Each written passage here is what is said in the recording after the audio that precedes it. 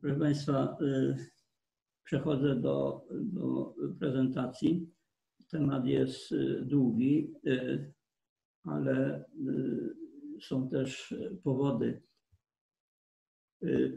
Ja na początku mocno podkreślę, że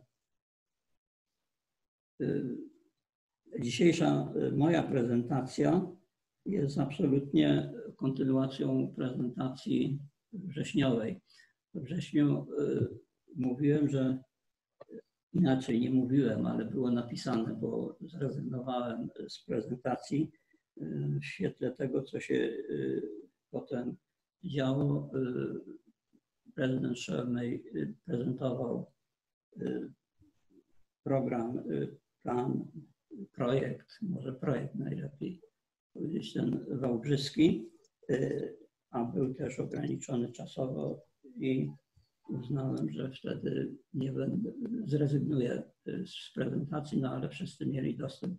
I, I tamta prezentacja, ona miała charakter programowy, programowy y, dla konwersatorium y, po przerwie wakacyjnej, ale to, że przerwa wakacyjna to, to mniejsze znaczenie, natomiast większe znaczenie ma to, że znaleźliśmy się w określonej sytuacji w określonym momencie procesu, który, który ma bardzo dużą dynamikę y, i bez wątpienia, jeżeli konwersatorium ma mieć jakieś znaczenie w zakresie transformacji energetyki, to musi w tej chwili niezwykle zdyscyplinować swoje działania, program, tak aby poszczególne Y, y, tutaj y, spotkania te, te miesięczne, y, nie były y, rozrzuconymi klockami, tylko y, tak jak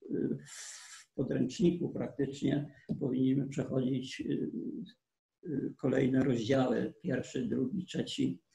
I dzisiejsze, dzisiejsza moja prezentacja właściwie pokazuje właśnie tą, tą sytuację, w jakiej się znaleźliśmy w październiku 2000 20. Y, trzeba ją analizować, w moim przekonaniu, przez y, pryzmat tego, co się dzieje y, w Unii Europejskiej. No akurat mamy tutaj intensyfikację dyskusji, a to w związku z tym, i to podkreślam, w związku z tym, że tu się zbiegają jakby dwa cykle planistyczne. Mianowicie ramy programowe Unii 2030. Za chwilę się rozpoczną, jesteśmy na progu i jednocześnie za chwilę zacznie się perspektywa finansowa unijna 2021-2027. No uwzględniając, że w jednym przypadku y, mamy do czynienia z cyklem sześcioletnim, a w drugim wypadku mamy do, do czynienia y, z cyklem dziesięcioletnim, y, no to jasne jest, że taka zbieżność zdarza się rzadko, a tutaj absolutnie pierwszy raz. Natomiast wszyscy, którzy działają, próbują osadzić swoje działania, y, zajmując się tutaj transformacją energetyki w Polsce, widzą też, nie ma wątpliwości co do tego, bardzo dużą odmienność tej y, y, perspektywy programowej, która się zaczyna w stosunku do perspektywy programowej tej, która y, no, była przygotowywana do, aż do końca 2009, no a później rozpoczynała się w 2000, 2011. Ta, ta perspektywa w gruncie rzeczy pierwsza, gdzie horyzont był 2020, no i pamiętamy y, cele 3 razy 20. Zresztą konwersatorium zawsze ta, ta sprawa towarzyszy, bo przecież y, y, Stowarzyszenie Klaster 3 razy 20 to to nic innego jak odpowiedź wtedy na, tamto, na tamte ramy programowe. Ale tamte ramy programowe, powiedziałbym, były statyczne. O, tam, tam była pewna, pewna dynamika i ona zresztą narastała w ciągu dekady, ale tamte ramy były statyczne. Natomiast te ramy, które się rozpoczynają za chwilę, już dzisiaj wiadomo, że są, są bardzo, bardzo dynamiczne. I, I my musimy sobie umieć poradzić z tymi różnymi cyklami planistycznymi w Unii Europejskiej i z celami fundamentalnymi. No tutaj ja jako cele fundamentalne traktuję po pierwsze neutralność klimatyczną, to, to nam jakoś już zapadło w pamięć i, i jesteśmy z tym oswojeni, ale nie wiem też, czy do końca zdajemy sobie sprawę z wagi tego, nawet twierdzę, że nie. I druga, druga sprawa, no to jest Europejski Zielony Ład. To jest nowsza sprawa, tak? I wydaje mi się, że tutaj Europa, definiując Europejski Zielony Ład, no, na, na to się też, też złożył COVID, sytuacja pandemiczna, całkowita destrukcja finansów publicznych, tak, jakieś działania ratunkowe. To, to wszystko, ale tu, tu mamy niezwykłą dynamikę i to się przekłada również na ramy finansowe 2021-2027 niezwykle się przekłada na, na ramy, na perspektywę finansową unijną, ale to się przekłada w takim razie na każde działanie nasze, na działania no, niemal, ja powiem, każdego dnia, każdego miesiąca, zwłaszcza jeżeli mówimy o elektroprosumeryzmie. No a tutaj w perspektywie krajowej dochodzi nam, dochodzą nam cykle wyborcze, gdzie są tworzone programy. Przecież te programy też są jakoś związane, dotychczas nie były właśnie, to, to jest też ta, to w naszym wypadku ta statyka, nie były związane z programy wyborcze z unijnymi cyklami planistycznymi, a, a w tej chwili już wkroczyliśmy w fazę, kiedy no absolutnie te, te dwa porządki się zaczynają mocno sklejać. I, I tutaj też jest ten asynchronizm, z którym trzeba sobie y, poradzić. Y, nie mówię o, o innych jeszcze u nas cyklach, mianowicie y, no, cyklu polityki energetycznej, który to, to cykl już od dawna szwankuje albo inaczej nie funkcjonuje, prawda? I zresztą w tej prezentacji znajdziecie Państwo pewną propozycję z tym związaną. Tu podkreślam właśnie to, co już powiedziałam, dlatego nie, nie będę się nad tym dalej pastwił. Natomiast właśnie ta dynamika, o której mówiłem, ona mnie e, właściwie zmusiła. E, ja e, pod przymusem musiałem się zastanowić, jak zdefiniować kolejną wersję, kolejne sformułowanie elektroprosumeryzmu.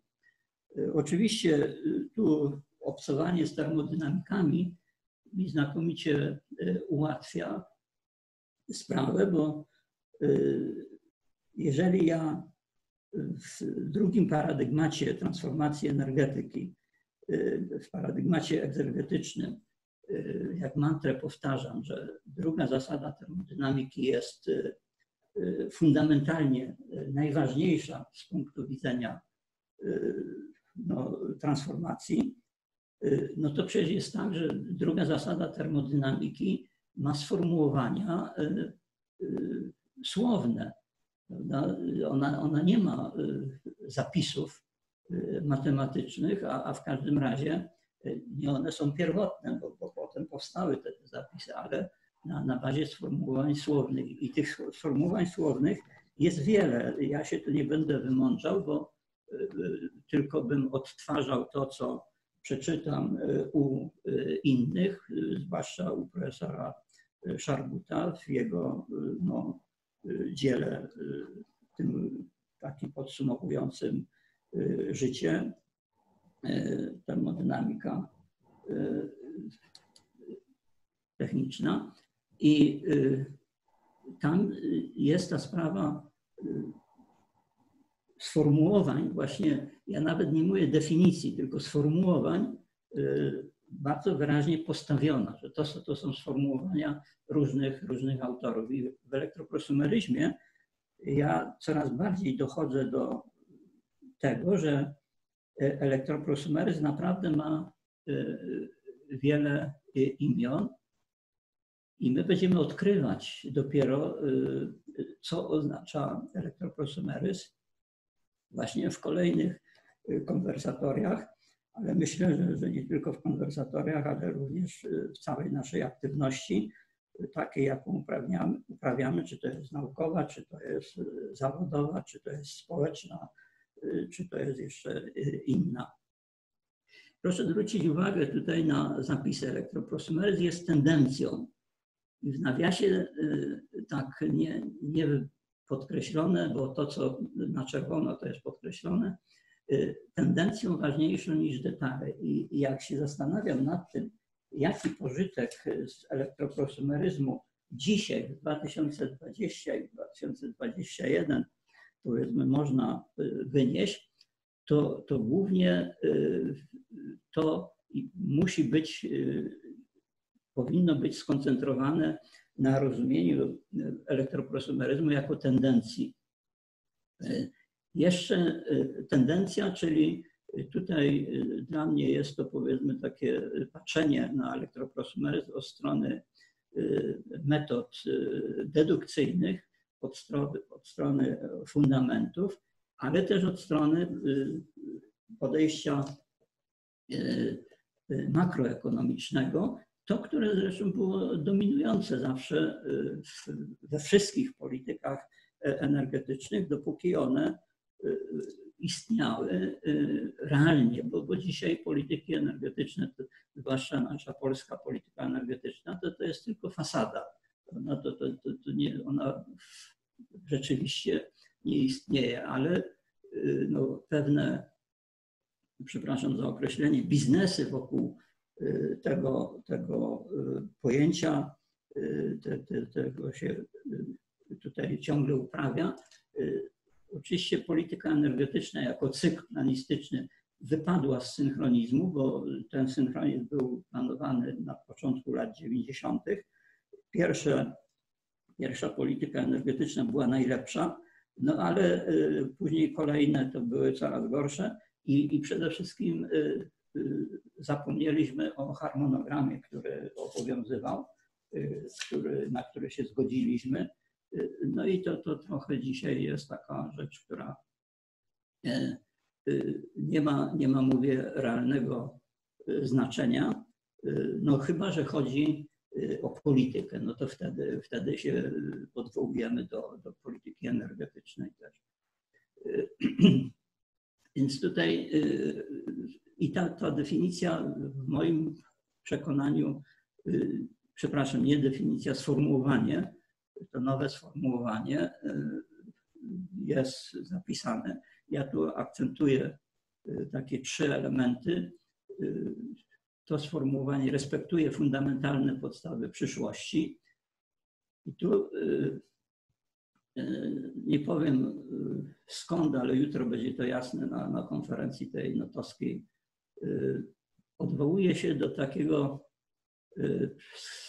stwierdzenia, bo, bo przyszłość na pewno zachowa to, co jest jej potrzebne.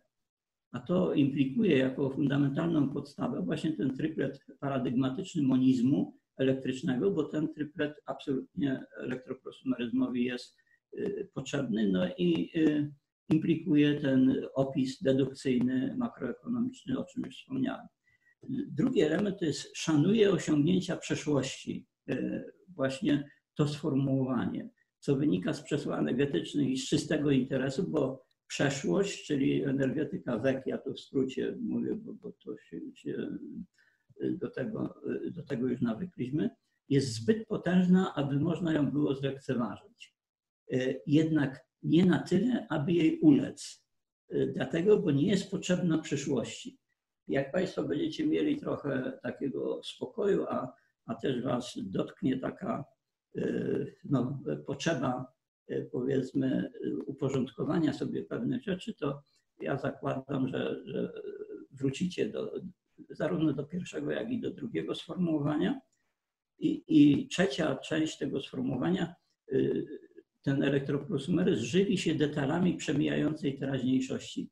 Jeżeli mamy przyszłość, jeżeli mamy przeszłość, to jest teraźniejszość i, i to jest tutaj, y, tu jest określenie detal, słowo detal, no w porównaniu z otwierającym zdaniem, gdzie mówię o tendencji, to, to wiadomo, jakie relacje między tendencją a, a detalami, y, tendencją przyszłości, y, a detalami przemijającej teraźniejszości.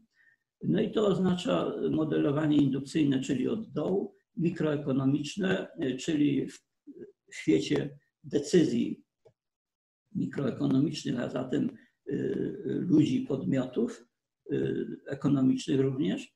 W tym miejscu pojawia się, y, jak tu pisze, fenomenologia elektroprosumeryzmu, czyli opis i ogląd tego, co bezpośrednio jest dane. I do tego będziemy pewnie często wracać. Proszę Państwa, przechodzę do drugiego slajdu, tego, tego z treścią pewną elektroprosumeryzm jako nieuchronność, jako tendencja w świetle katastrofy dotykającej energetykę po stronie polityki państwa i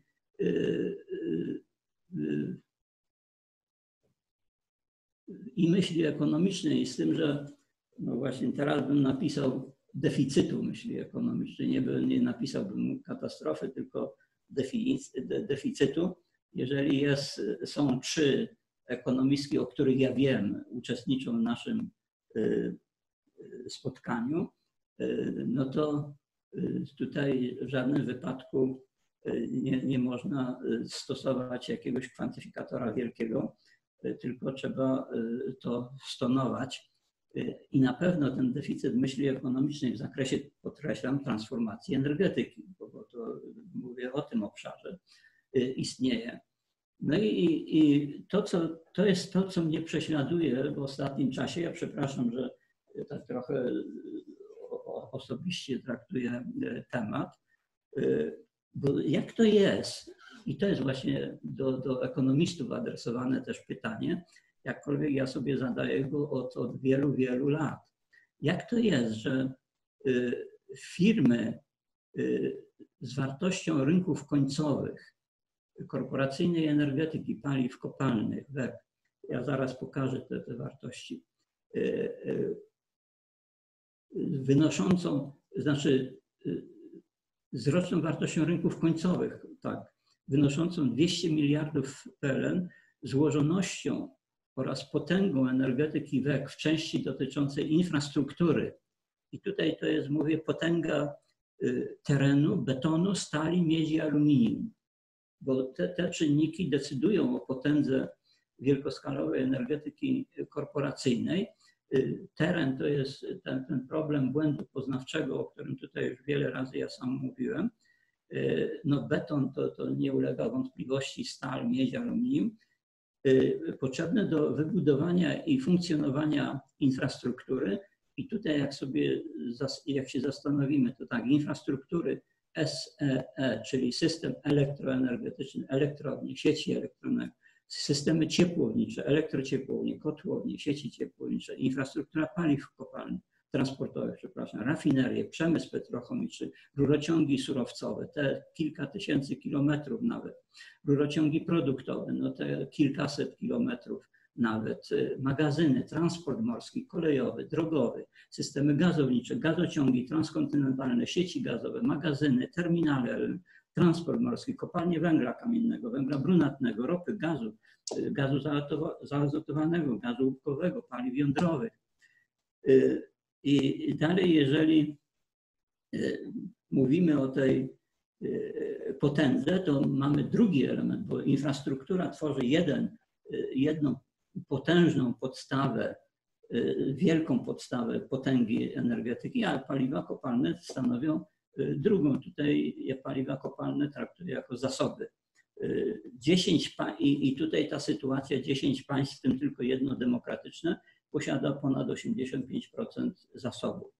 No i, i ta energetyka dalej z ekonomiką Project Finance dla projektów inwestycyjnych, jak i z finansowaniem inwestycji na podstawie bilansów skonsolidowanych, czyli tutaj wskaźniki, tu, tu będę musiał poprawkę wprowadzić, ale to w wersji beta poprawię się.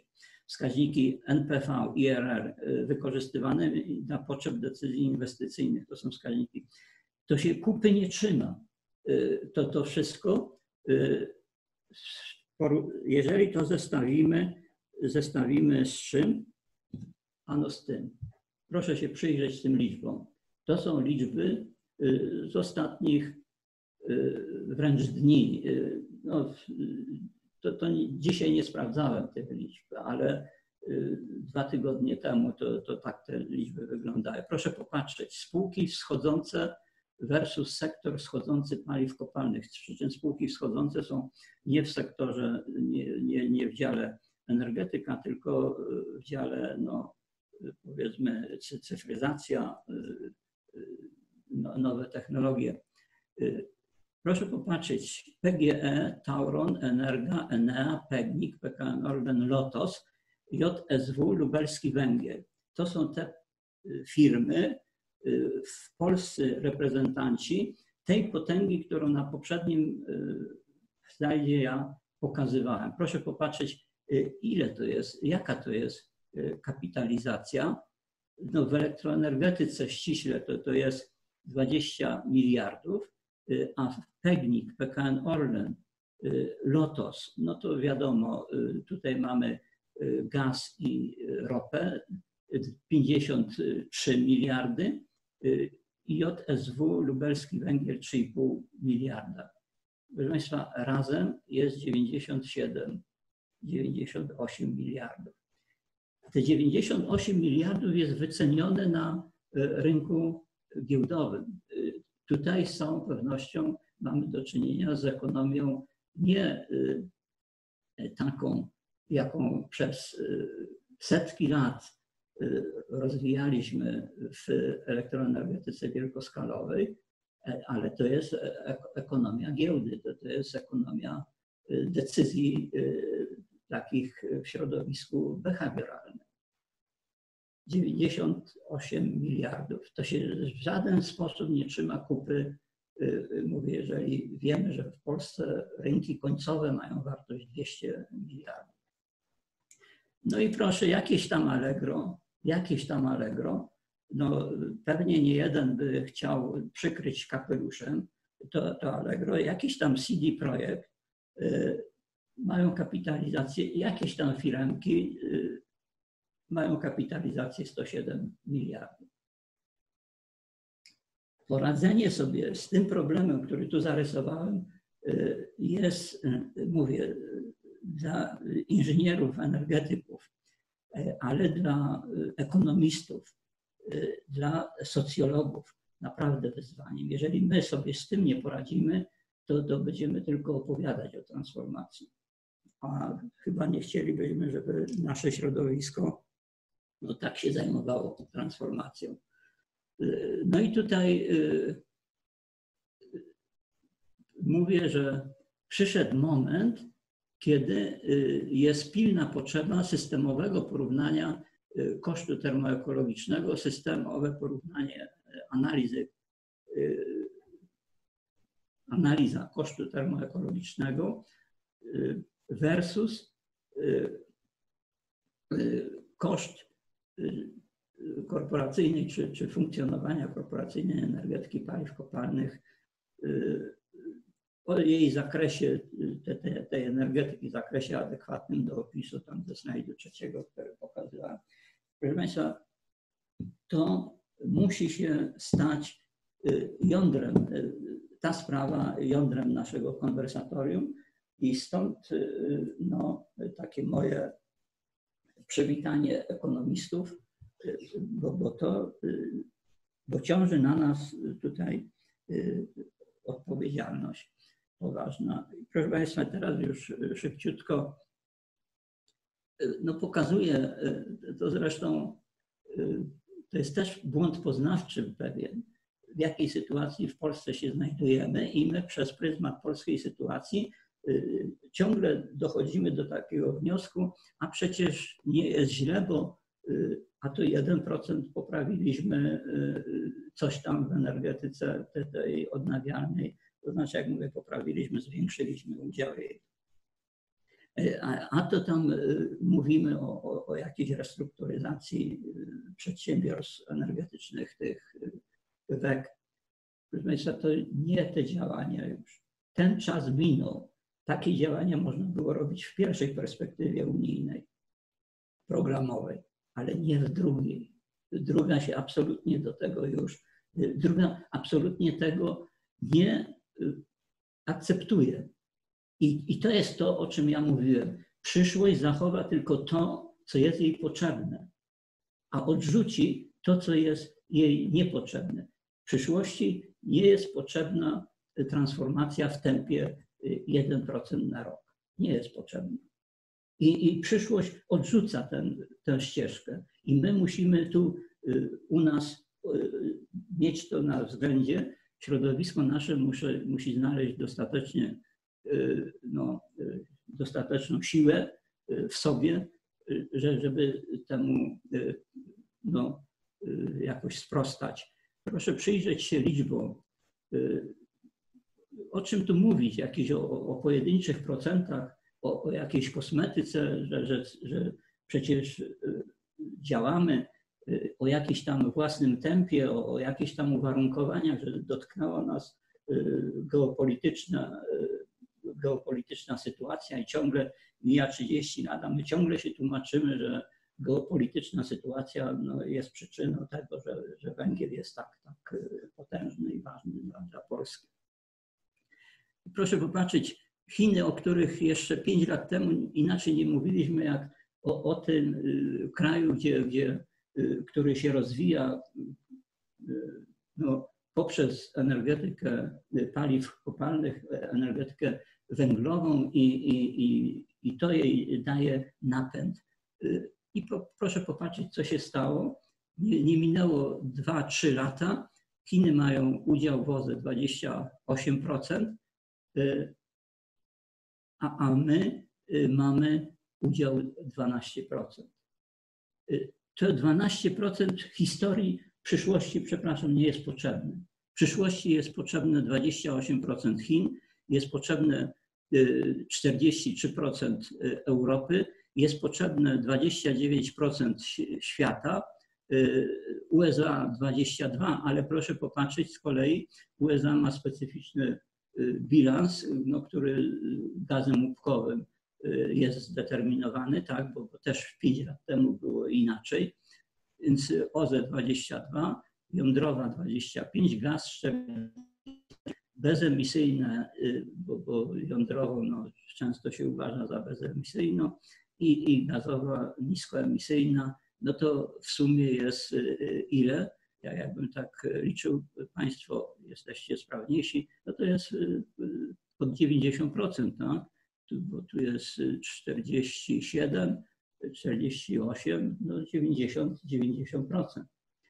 Jeżeli Europa jest inna struktura, korzystniejsza z punktu widzenia elektroprosumeryzmu, no OZ43 gaz 13, proszę popatrzeć razem, to jest 13 plus 29, 30, 42, tak? 80, 85, 85. Tyle to, to my mamy y, y, praktycznie w energetyce y, węglowej. Więc i teraz energetyka jądrowa, bo ta wraca jak wańka wstańka, no to i, i między ostatnim konwersatorium a, a dzisiejszym przecież ważne wydarzenia nastąpiły w tym, w tym obszarze, podpisanie umowy między polsko, polsko-amerykańskiej. Proszę Państwa, i to, to znowu jest, cofa nas nie wiadomo jak mocno do, do tyłu. Bloki EPR 1600, AP 1000, VV, V jeszcze raz 1200, nawet ten New Scale modułowe 720 to jest sprawa dyskusyjna.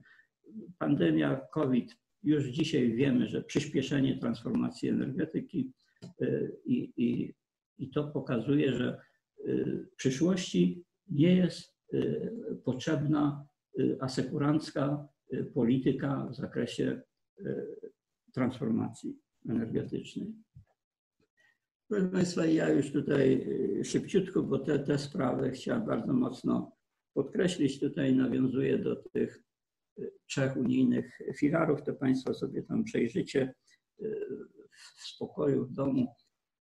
Tu są wylistowane szczegółowo horyzonty planistyczne, horyzonty strategiczne. No, strategiczny 2050 i, i tu ja mówię horyzont strategiczny, ale, ale też jest albo cel strategiczny, albo proces społeczny. Tak? Proces społeczny, trzecia fala elektroprosumeryzmu, no to, to też jest już to pojęcie w naszym środowisku jakoś osadzone i, i tak dalej. I proszę Państwa, chcę jeszcze te pewne propozycje przedstawić. Proponuje się następujące rozwiązania kierunkowe. Jeżeli proponuje się, to ja no, mówię o, o sobie, ale zakładam, że wiele osób z naszego środowiska się przyłączy do tego i więcej zacznie działać. Na poziomie kraju politykę energetyczną zastępuje się doktryną energetyczną Horyzont 2050. I proszę Państwa, jeżeli się próbuje zapanować nad tą różnością horyzontów planistycznych, horyzontów poszczególnych celów, to, to, to widać, że, że to jest dla, dla Polski niezwykle potrzebne. Ja wracam do doktryny energetycznej. No akurat siedzę w pokoju, w którym myśmy tę doktrynę dyskutowali bardzo mocno 20, właściwie 5 lat temu, no może 23. I to potem miało jeszcze pewne takie wznowienia w roku, gdzieś tam po roku 2010, ale nic z tego nie wyszło. No dzisiaj okazuje się, że ta doktryna jest jedynym takim sensownym rozwiązaniem, żeby państwo powiedziało, jaką doktrynę energetyczną, w tym wypadku transformacji energetycznej, no, ma, żebyśmy wszyscy byli, mieli azymut, tak, ale żebyśmy nie byli krępowani operacyjnymi działaniami, które wymagają podejścia strategicznego, a nas się wpycha w jakieś taktyczne, taktyczne sprawy. Doktryna zastąpiona, znaczy doktryna zastępująca politykę energetyczną, to jeżeli będzie doktryna dobrze sformułowana, rozwiązałaby sprawę. Na poziomie jednostki ST działania mają fundamentalną podstawę w paradygmatach elektroprosumeryzmu i tego poziomu mikroekonomicznego. Ja nawiązuję do, do pierwszego slajdu. Jednostka ST, JST, jednostka samorządu terytorialnego, jest odpowiedzialna za model energetyczny w jej strategicznym rozwoju, strategii rozwojowej w horyzoncie 2050 oraz za plany zagospodarowania przestrzennego zharmonizowane z unijnymi ramami programowymi.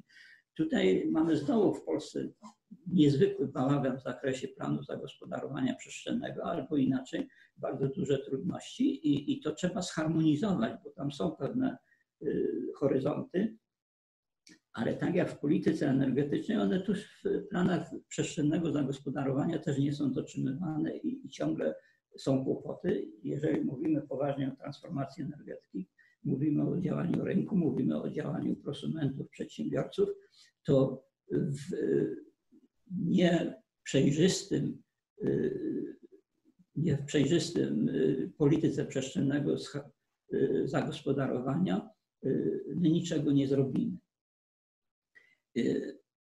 Teraz planowanie realizacji zasady pomocniczości na rzecz eliminowania wykluczenia energetycznego w jednostkach samorządu terytorialnego oraz na drugim biegunie tworzenie warunków do rozwoju konkurencji, do pobudzenia segmentu prosumenckiego, pobudzenia innowacji przełomowych całego sektora MMSP musi być zharmonizowany z unijnymi perspektywami budżetowymi, dopóki one mają taki charakter, jak mają. No, najbliższa mm, perspektywa planistyczna y, zdecydowanie tego wymaga. No i w wypadku programów wyborczych na poziomie krajowym i jednostek i ODST obowiązuje zasada ciągłości działania w obszarze transformacji energetycznej we wszystkich horyzontach planistycznych. Y, a co, nie można sobie pomarzyć? Y, można, ale powinniśmy powiedzieć, że to nie są już marzenia, że, że to są twarde wymagania rzeczywistości. Jeżeli ktoś odważnie przeprowadzi dyskusję na własny użytek, wewnętrzną dyskusję, swoją wewnętrzną dyskusję tego, co się dzieje w, Europie, to myślę, że się zgodzi z tymi tutaj propozycjami. Proszę Państwa, i króciutko już, elektroprosumeryzm, jakie siły stoją na świecie za neutralnością klimatyczną? Ja tutaj wymieniam te, te siły. I tu są bardzo różne y, kategorie. Y, każdy z nas powinien sobie takie ćwiczenie przeprowadzić y, po to, żeby się lepiej poczuć i, i żeby, mówię, zyskać taką twardszą podstawę do, do własnego działania, bo, bo dzisiaj nie da się indywidualnego działania porządnie realizować bez osadzenia właśnie w makroekonomice. Czyli mikroekonomika to jest nasz świat, e, ludzi, podmiotów, które podejmują decyzje, e, ale ta mikroekonomika musi być osadzona jednak też w przestrzeni pojęciowej ekonomii, znaczy makroekonomii. Proszę przyjrzeć się USA, Niemcy. Ja w tej prezentacji bardzo mocno podkreślam rolę jednostek samorządu terytorialnego. Nie jest to bez powodów. Otóż to się dzieje w Stanach. Y, Stan, y, w Stanach mamy proces Stany, czyli Stany, w Stanach Zjednoczonych. 50 tak? stanów. Stany zaczynają wyręczać w transformacji energetycznej federację ja tutaj z racji wieku mam największe doświadczenia, ale też y, z racji moich doświadczeń zawodowych. Też obserwuję, jak w Stanach Zjednoczonych dramatycznie przemieszcza się odpowiedzialność za energetykę z federacji, z poziomu federacji na poziom, poziom Stanów. Ktoś, kto zajmował się, kto miał styk z energetyką amerykańską 30 lat temu, y, no, y, nie, nie, nie mógł sobie wyobrażać tego, że Departament Energetyki w Waszyngtonie y, abdykuje. Dzisiaj ten, ten departament w dużym stopniu, mówię, musi się pogodzić z tym, że poszczególne stany przejmują odpowiedzialność za energetykę. O tym trzeba dużo mówić.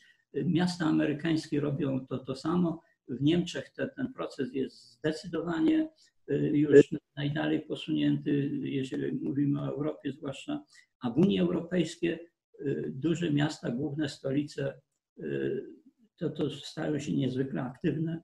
Społeczności lokalne, sektor MMSP, ale znowu dynamika dokumentów unijnych, ostatnich dokumentów.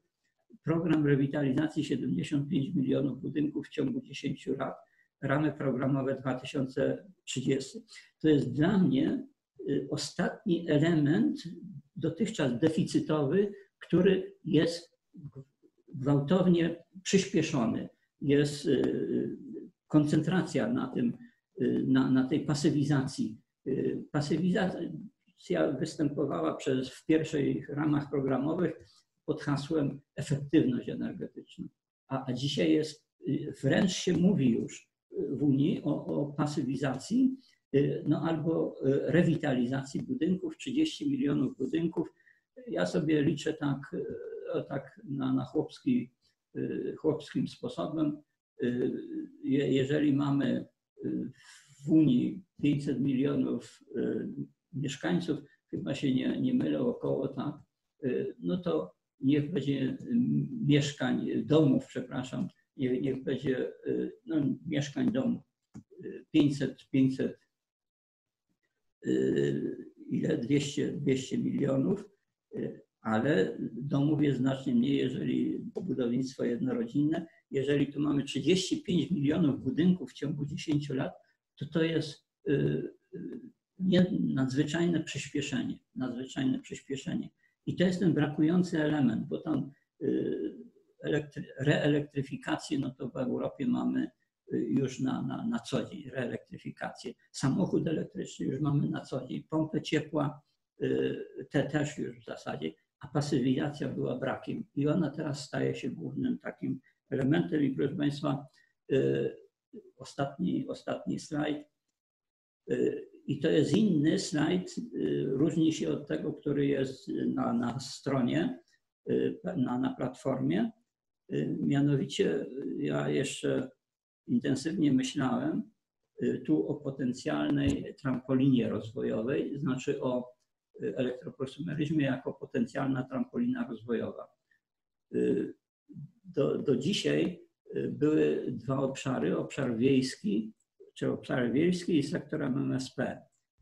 A ja sobie zacząłem tutaj intensywnie myśleć, no ale przecież jeżeli, y, zwłaszcza skojarzymy to z tymi 35 milionami budynków rewitalizowanych w Unii Europejskiej, to elektroprosumeryzm jest napędem, siłą napędową, trampoliną rozwojową dla budownictwa miejskiego, bo w mieście te, ten problem jest podstawowy i infrastruktury miejskiej.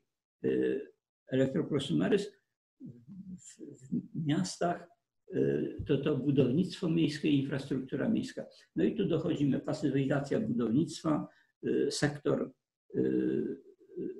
przepraszam, zero, domy zeroenergetyczne, pasywizacja budownictwa, domy zeroenergetyczne, cyfryzacja, cyfryzacja przestrzeni publicznej.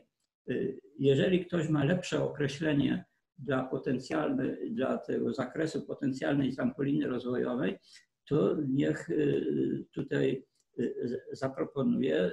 Ja się chętnie y, no, przyłączę. Uważam, że zarówno ta potencjalna siła napędowa rozwoju technologicznego, ja tu wprowadzam elektrotechnologię, bo coraz bardziej myślę sobie, że elektroprosumeryzm to to jest właściwie napęd elektrotechnologii, to jest zmiana rynku, y, rynków energetycznych, energetyki, ale to jest napęd elektrotechnologii. To to jest większa, większa sprawa. E, panie profesorze, dziękuję bardzo za wprowadzenie. Faktycznie, proszę Państwa, tą e, prezentację przygotowałem e, za namową pana profesora i w zasadzie można powiedzieć tak, że jest to na konwersatorium trzecia prezentacja dotycząca audytingu energetycznego. One były przygotowywane przeze mnie w odstępie, każda w odstępie kilku lat i teraz myślę, że jest równie dobry e, czas dla e, przedstawienia naszych kolejnych doświadczeń po bodajże chyba dwóch czy dwóch i pół e, roku od ostatniej prezentacji, ponieważ kilka spraw się wydarzyło. Pierwsza sprawa, no w sposób tak otwarty i z dużym przyspieszeniem zaczęliśmy mówić o neutralności klimatycznej. Druga sprawa, mamy przed sobą kolejny obowiązek, który przetoczy się, już w zasadzie się rozpoczął, e, który dotyczy audytów energetycznych e, przedsiębiorstw, e, które nie są małymi, średnimi. No i to się, to się akurat toczy. Trzecia sprawa, ustawa o efektywności energetycznej, która w fazie, jest w fazie nowelizacji, no nie jest jeszcze powiedziane do końca, ale ten obowiązek może znacząco rozciągnąć również na inne E, przedsiębiorstwa. Mówi się o średnich e, przedsiębiorstwach. I kolejna sprawa to postępująca e, cyfryzacja. I tu od razu w zasadzie przedstawia taką tezę, że kontekście właśnie neutralności klimatycznej trudno sobie, przynajmniej mi, wyobrazić element cyfryzacji przedsiębiorstw bez, bez komponentu, który w pewien sposób będzie pozwalał na określenie danego podmiotu, który coś wytwarza, do tego, jak w tym swoim wytwórstwie jest blisko neutralności e, klimatycznej. E, I w tym wszystkim e, należy powiedzieć, że zarówno efektywność energetyczna w całej filozofii zbliżania się do neutralności klimatycznej, jak i wspomniany elektroprosumeryzm to są pewne filary, które, które no bez wątpienia są konieczne do osiągnięcia neutralności klimatycznej. W jaki sposób my ją osiągniemy, to w poprzednim miesiącu e, w prezentacji temat był również przeze mnie poruszany, podobnie zresztą jak ten slajd, który jest Państwu znany e, z poprzedniego e, miesiąca. Natomiast tekst, który jest zaznaczony kolorem czerwonym, on de facto w mojej ocenie w horyzoncie roku 2050 mocuje efektywność nie tylko e, energetyczną, ale również surowcową, ponieważ no w całym e, dążeniu do elektroprosumeryzmu i do neutralności klimatycznej my bardzo szybko, o czym mówiłem też miesiąc e, temu, zaczniemy w sposób bardziej dosadny mówić również o monitorowaniu nie tylko konieczności monitorowania zużycia nie tylko mediów i surowców energetycznych, ale również tych zasobów zasobów nieenergetycznych. W prawodawstwie krajowym efekt, sama efektywność energetyczna, jak e, większość z Państwa e, pewnie się doskonale orientuje, umocowana jest wspomnianą ustawą o efektywności energetycznej, która jest przełożeniem e, dyrektywy europejskiej. Dyrektywa europejska po nowelizacji ukazała się już jakiś czas temu i w zasadzie można powiedzieć tak, że każdy horyzont kolejnej odsłony dyrektywy e, będzie wprowadzał, e, że w kolejnym okresie efektywność energetyczna będą tworzone mechanizmy do jej poprawy i, i do dalszej poprawy w kolejnych okresach. Na ten temat, czy takie bardzo detaliczne później już szukanie drobiazgów, jeżeli chodzi o obszar efektywności energetycznej, czy jest czy jest łatwe, e, no to już wiele na ten temat sobie powiedzieliśmy w poprzednich prezentacjach, właśnie były e, nasze doświadczenia prezentowane z audytów na temat potencjału, który, z którym dzisiaj mamy e, do czynienia. Ja krótko przy okazji przemysłu i elektroenergetyki do tych zasobów efektywności energetycznej jeszcze powrócę. E, tak jak wspomniałem, sama ustawa oprócz e, obowiązków związanych z, z koniecznością, e, z koniecznością umarzania tak zwanych białych certyfikatów przez podmioty do tego zobligowane, wprowadza jeszcze również inne reguły. Jeden z nich to obowiązek audytu przedsiębiorstwa, to o czym powiedziałem, i drugi dający efekt zachęty do poprawy efektywności energetycznej związany z audytami e, efektywności e, energetycznej. Muszę powiedzieć, że na przestrzeni lat e, tutaj zaczęło sporo się dziać i praktycznie ten mechanizm białych certyfikatów, on jest już dosyć dobrze rozpoznawalny, na pewno w przemyśle i doskonale stosowany, w elektroenergetyce również. No nieco gorzej jest w tym obszarze jednostek samorządów terytorialnych. E, my bardzo często, nawet dzisiaj, spotykamy się e, jeszcze z pytaniami w formie telefonicznej czy mailowej ze strony spółdzielni i innych podmiotów zrzeszonych, e, ponieważ usłyszeli o takim mechanizmie i chcieliby się czegoś dowiedzieć, jak pozyskać środki ewentualnie na efektywność energetyczną. Więc w tym obszarze odczytujemy, no, że rozpoznawalność tego mechanizmu jest e, trochę, trochę słabsza. Kilka lat temu, e, mając już znaczące doświadczenia z audytów takich dużych, przemysłowych, e, postanowiliśmy opracować taką metodykę do audytingu dużych przedsiębiorstw. Taka, taką metodykę, która w pewien sposób ona by porządkowała podejście, ponieważ no, te firmy, które również tu zostały przywołane dzisiaj w zestawieniu, jeżeli pan profesor pokazywał kapitalizację tych dużych spółek, no my częściowo, część z nich mieliśmy okazję audytować i zawsze zastanawiałem się, nim do tych zadań przystąpiliśmy, w jaki zorganizowany sposób podejść do tego, aby e, no, w ogromie tych zagadnień e, z jednej strony nie utonąć, żeby była wartość e, dodana dla klienta, żeby wszystko mieściło się to w ramach odpowiednich czasowych i finansowych i później w jaki sposób długofalowo wyzwolić pewnego rodzaju podejście w zasadzie związane z, nawet z zarządzaniem energią w tych przedsiębiorstwach, aby ten potencjał efektywności energetycznej monitorować i wtedy, kiedy będzie to zasadne ekonomicznie, e, również podejmować decyzje świadome o jego e, uszczuplaniu. I ja tej metodyki e, nie będę omawiał. Ona jest dostępna w literaturze, ponieważ została opublikowana.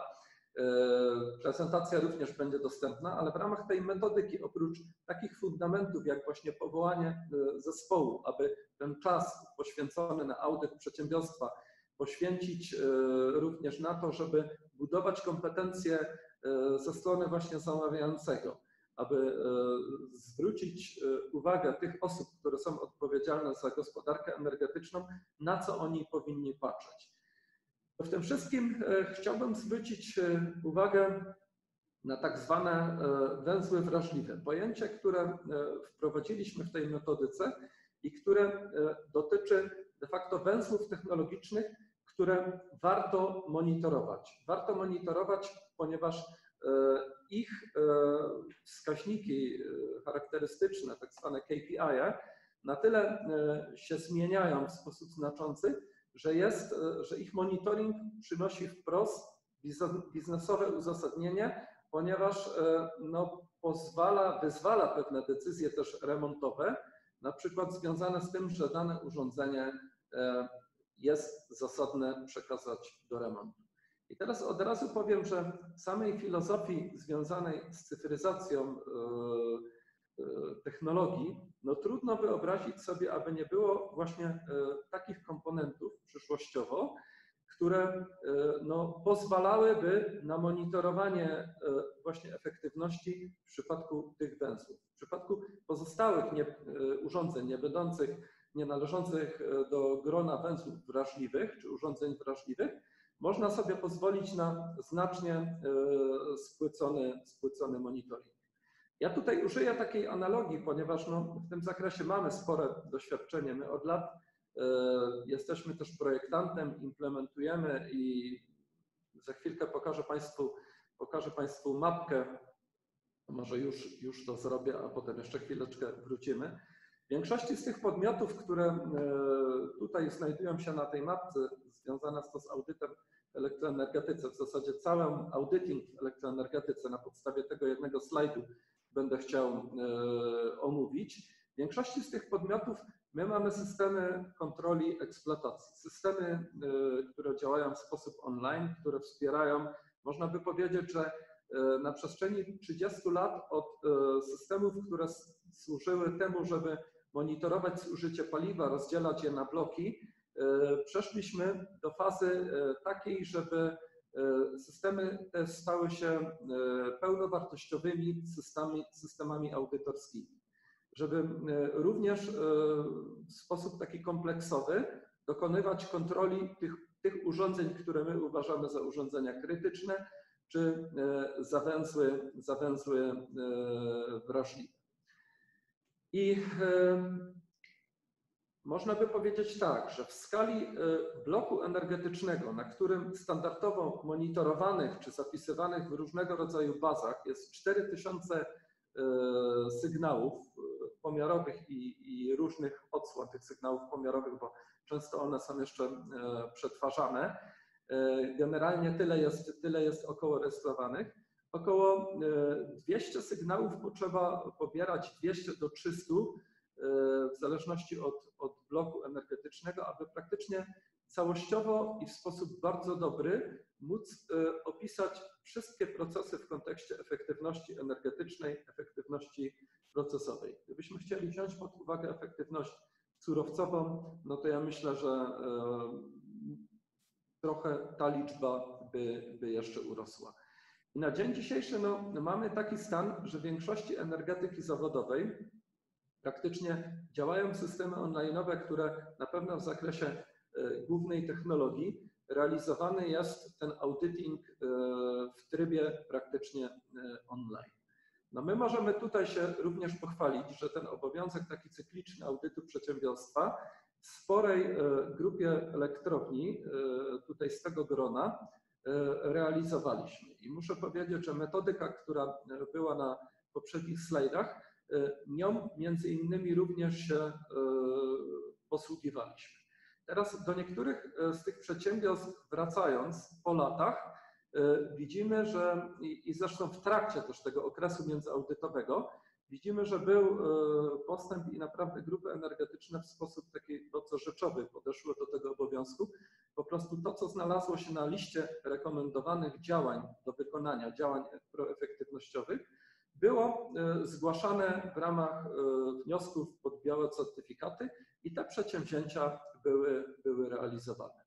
Na przestrzeni lat udało nam się chociażby no, wdrożyć e, i przekonać środowisko do tego, że warto jest monitorować ilość wody, która jest skierowana do skraplaczy turbinowych, że warto to regulować. Z tego tytułu są konkretne efekty i poprawa wskaźników i w wielu elektrowniach zostało to wdrożone. Również w obszarze e, urządzeń wrażliwych, do których na pewno należą e, pompy zasilające, do których należą pompy cyrkulacyjne, w instalacjach ociepczania e, spalin.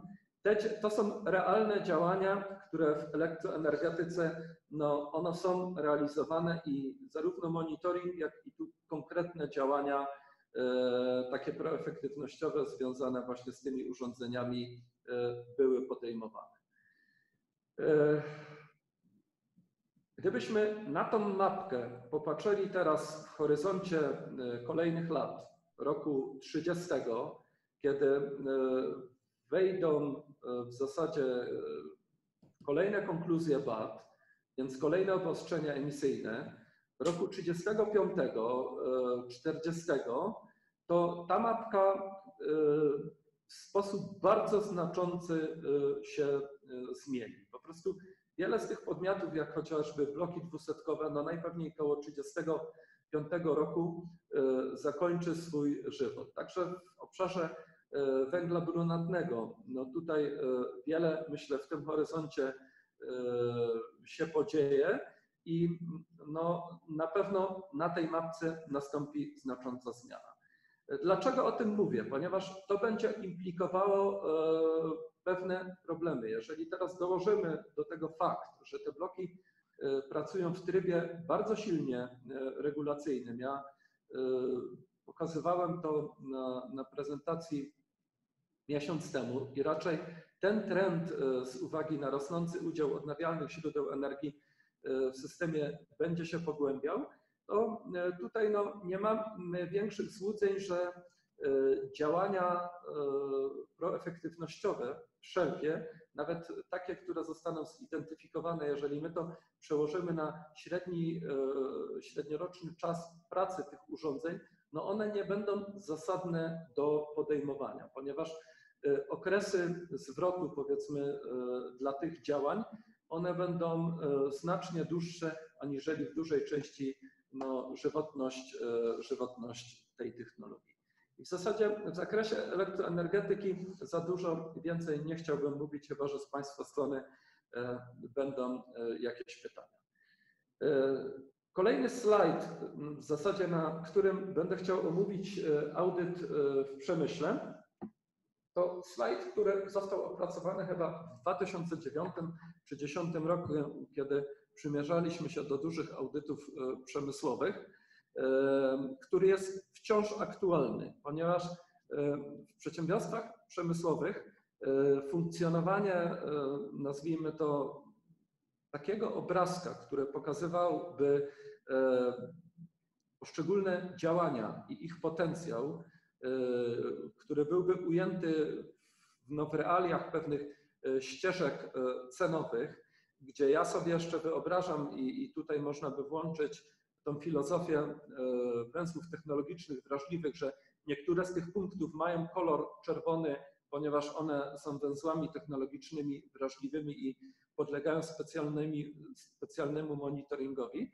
to proszę Państwa, ten slajd i, i potrzeba tutaj ona w przemyśle wcale nie jest taka oczywiste, wcale nie jest tak powszechnie stosowana i patrząc na to, jak biegnie powoli drugi obowiązek audytu przedsiębiorstw, to wcale nie jest powszechna aż tak bardzo potrzeba takiego podejścia, ponieważ wiele podmiotów do tego obowiązku nadal podchodzi w taki sposób, że on jest, nie jest weryfikowany i należy go po prostu, po prostu spełnić. Dlatego później w przetargach, które się pojawiają, no, różnice w podejściu, również te na poziomie finansowym, często sięgają kilkuset procent, jeżeli chodzi o, o samo, samo podejście do, przez podmioty, które oferują wykonanie, wykonanie tej usługi.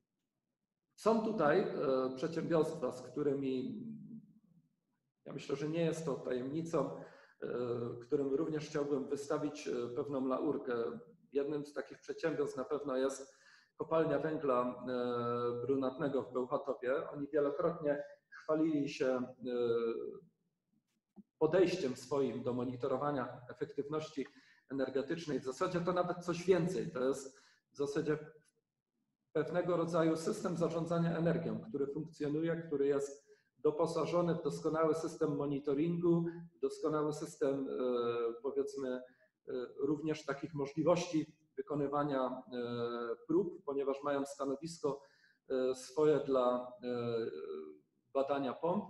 I można powiedzieć, że to jeden z bardziej zaawansowanych systemów związanych z takim monitoringiem potencjału efektywności energetycznej, nawet optymalizacją samego procesu, ponieważ no, tam rozwiązania, które są zaimplementowane, chociażby związane z monitoringiem, optymalizacją tego, jak korytarze transportowe dla węgla brunatnego, jak to jest realizowane, od lat tam działa i przynosi konkretne efekty i sposób, w jaki udało im się energochłonność poprawić, no, jest naprawdę imponujący. W samym obszarze pompowym, no tutaj można również postawić to jako wzór, ponieważ sposób monitorowania każdej pompy i, i, i doboru i później sprawdzania tych pomp po remoncie, no to na pewno można postawić w kategoriach dobrych, dobrych praktyk.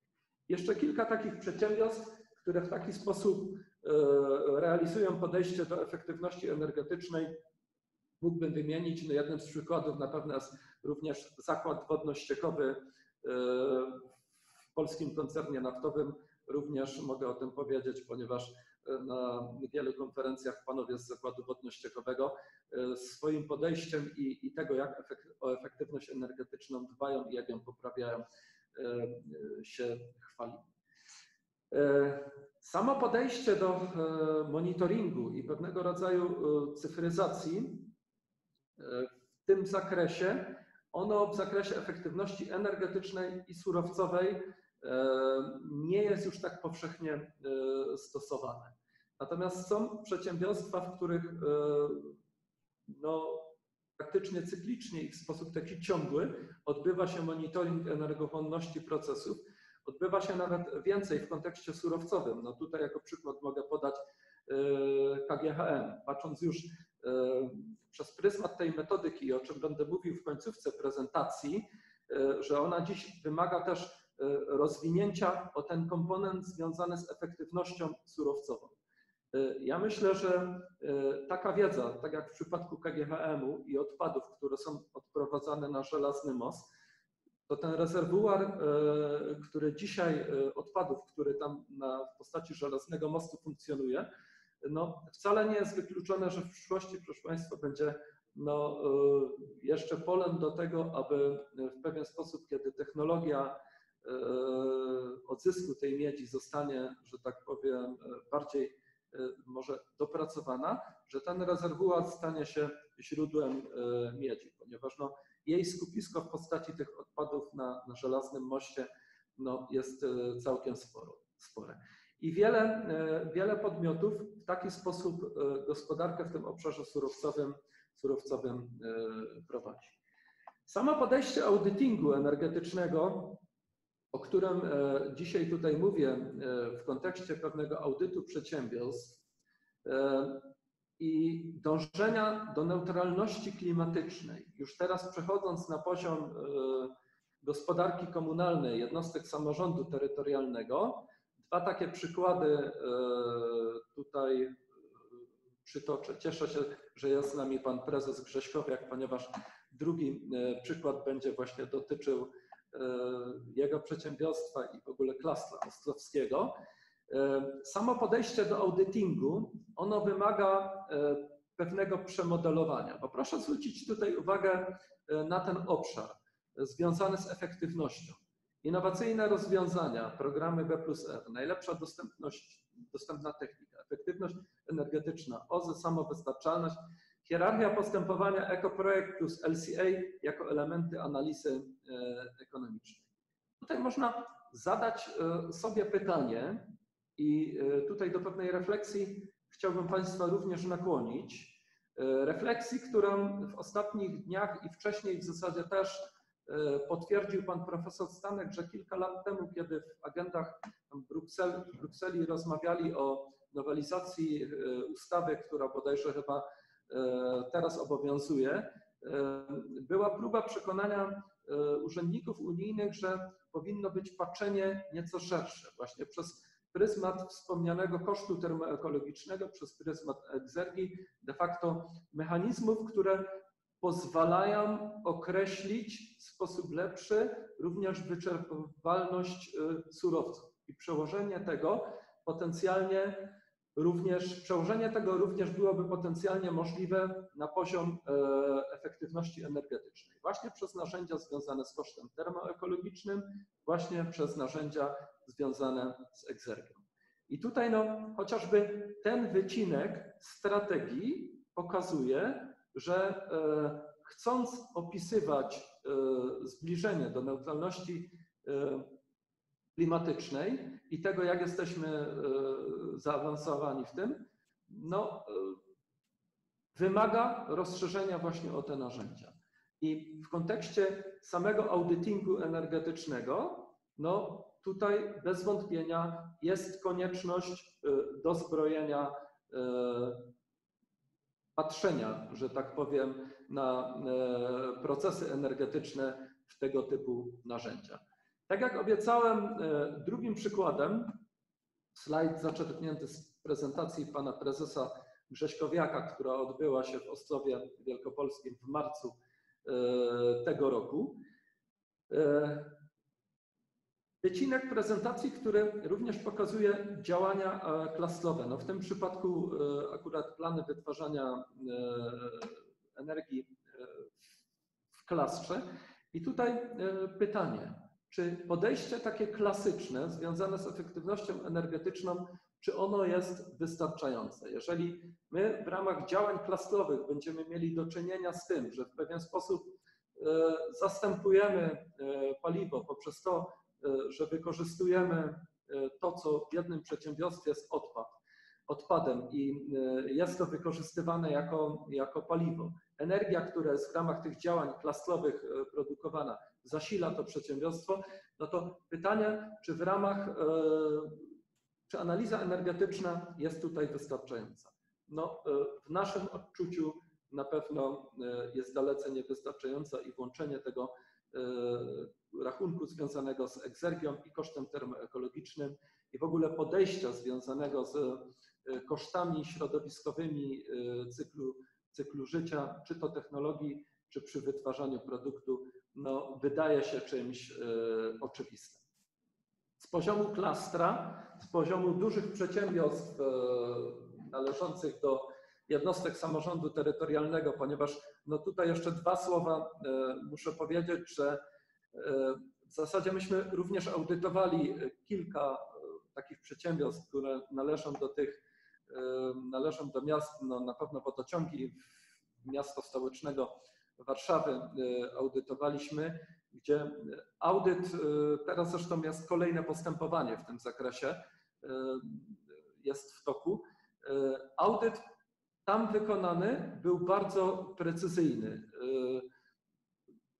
Przygotowanie zapytania na ten audyt, służby, które były za to odpowiedzialne, poświęciły naprawdę bardzo dużo czasu, ale było to bardzo przemyślane, ponieważ w zasadzie można powiedzieć, że przeprowadzenie tego audytu w pewien sposób dało dosyć e, dobry obraz tego, e, co warto pilnować e, jaka powinna być hierarchia nawet w zakresie tych działań pro, proefektywnościowych.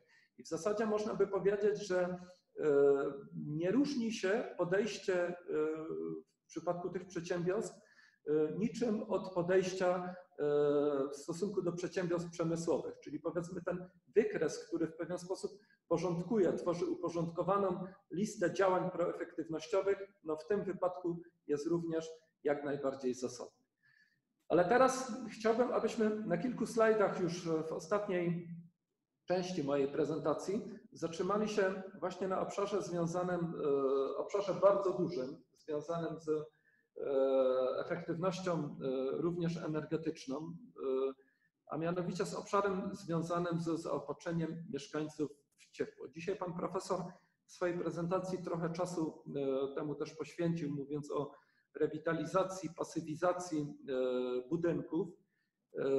Faktycznie wydaje się, że bardzo dużo programów pomocowych, które mają skłonić no, pojedynczych inwestorów do tego, aby dokonali minimalizacji strat w swoich budynkach, e, się teraz e, pojawiło. Myśmy przygotowali taką e, analizę, poprosiłem koleżankę, aby opracowała taki model, ponieważ nawet jeżeli w obszarach, zwłaszcza pozamiejskich, to jest widoczne, niewielka ilość budynków jest ocieplona. Te, które są ocieplone, bardzo często e, jest to standard sprzed kilku lat, kiedy e, no, materiał izolacyjny w postaci steropianu był, nie był takiej jakości, nie miał takich współczynników jak teraz steropiany najnowszej, e, najwyższej klasy posiadają współczynnik 0,031.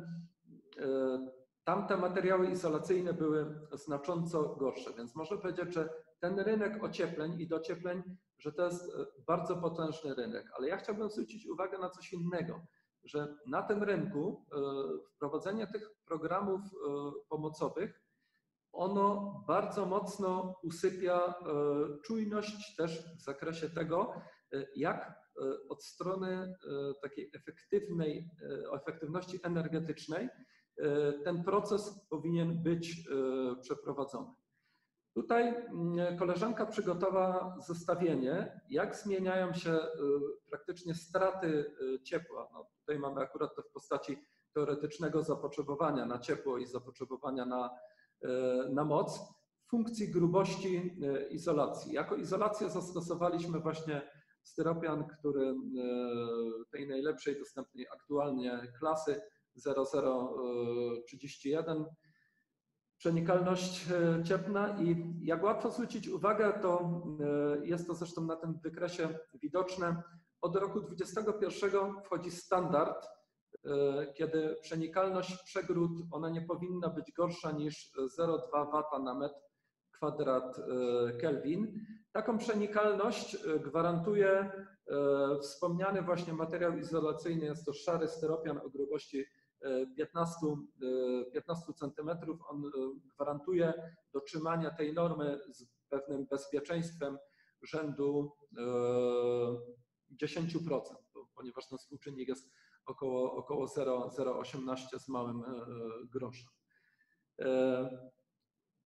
I warto tutaj w tym miejscu dopowiedzieć, że w zasadzie ten core procesu docieplenia w postaci tej warstwy izolacyjnej 15 cm w całej e, cenie w przypadku metra kwadrat e, stanowi to wartość około, można powiedzieć, no jest to proporcja około 27 zł za metr kwadrat. Taką, taka jest aktualnie cena rynkowa e, stropianu o grubości 15 cm dobrej jakości w stosunku do ceny całego docieplenia rzędu wahające się od około 115 do 160 zł. Takie ceny rynkowe, rynkowe obowiązują.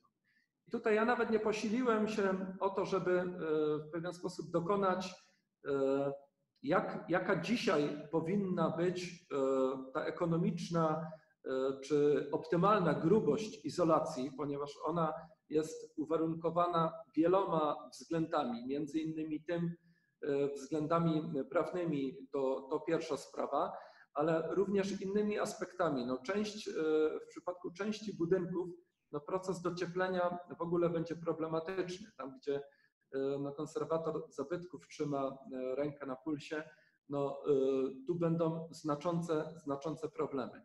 Ale proszę zwrócić uwagę, że charakterystyka tutaj dosyć mocno, począwszy od 15 cm grubości tej izolacji, się wypłaszcza. Więc tutaj na stosowanie w przypadku pasywizacji budynków no pewnej, pewnej optymalizacji kosztów, no to nie posiliłem się dlatego, ponieważ no, wymagałoby tutaj zastosowania pewnych e, ścieżek cenowych. Czy to, o czym mówił Pan Profesor e, wielokrotnie, czy tutaj zastosowanie e, tej ekonomii, którą my stosujemy, czy ono jest zasadne? Czy tego typu przykład nie powinien być analizowany właśnie na płaszczyźnie kosztu termoekologicznego?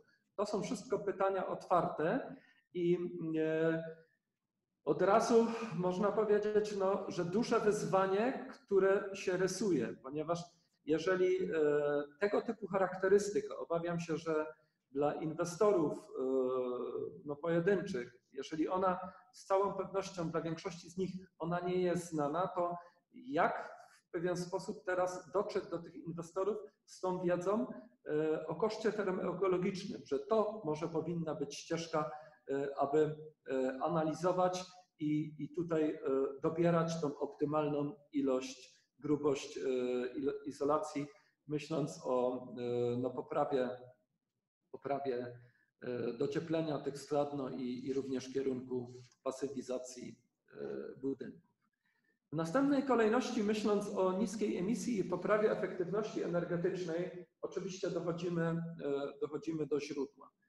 Źródła możemy mieć e, lokalne i możemy mieć ciepło sieciowe. W przypadku dużych aglomeracji miejskich i w ogóle aglomeracji miejskich, tam gdzie mamy e, systemy zaopatrzenia z dala czynnego w ciepło, e, również wiele się dzieje. My realizujemy sporo audytów energetycznych, które również zmierzają do tego, to w programach likwidacji niskiej emisji aby e, te lokalne e, kotły, kotłownie, dobrze, jeżeli to są kotłownie, e, często, często, bardzo często są to źródła takie zupełnie lokalne w postaci pieców kaflowych, no, zastępowane są ciepłem sieciowym.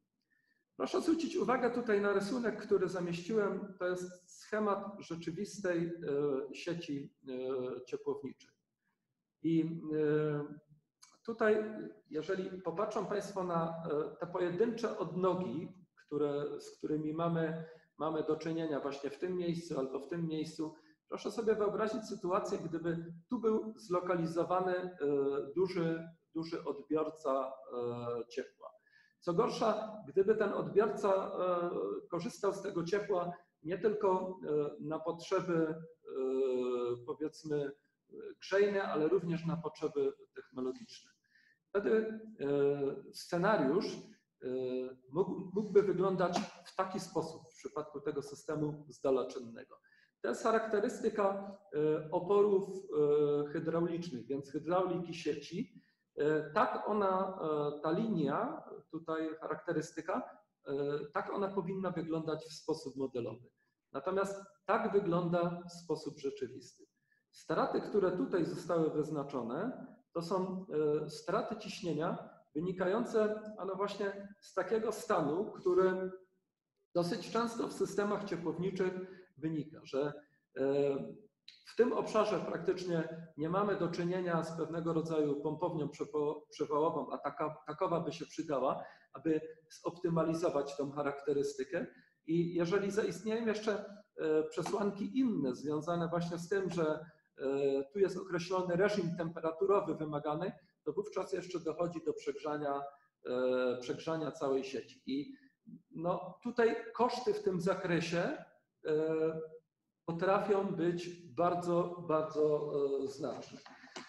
I w zasadzie e, na tym przykładzie można by powiedzieć, że systemy zdalaczynne, zwłaszcza w zakresie tego, co dzieje się w obszarze pomp e, ciepła, dosyć świeży artykuł czytałem e, ostatnio, bodajże z tego roku, składający się z dwóch części w zakresie pomp ciepła i rozwoju w tym zakresie, stosowania pomp które, które są rozwiązaniem pewnego rodzaju kaskadowym i nowym, e, nowe czynniki, które są stosowane w tych pompach.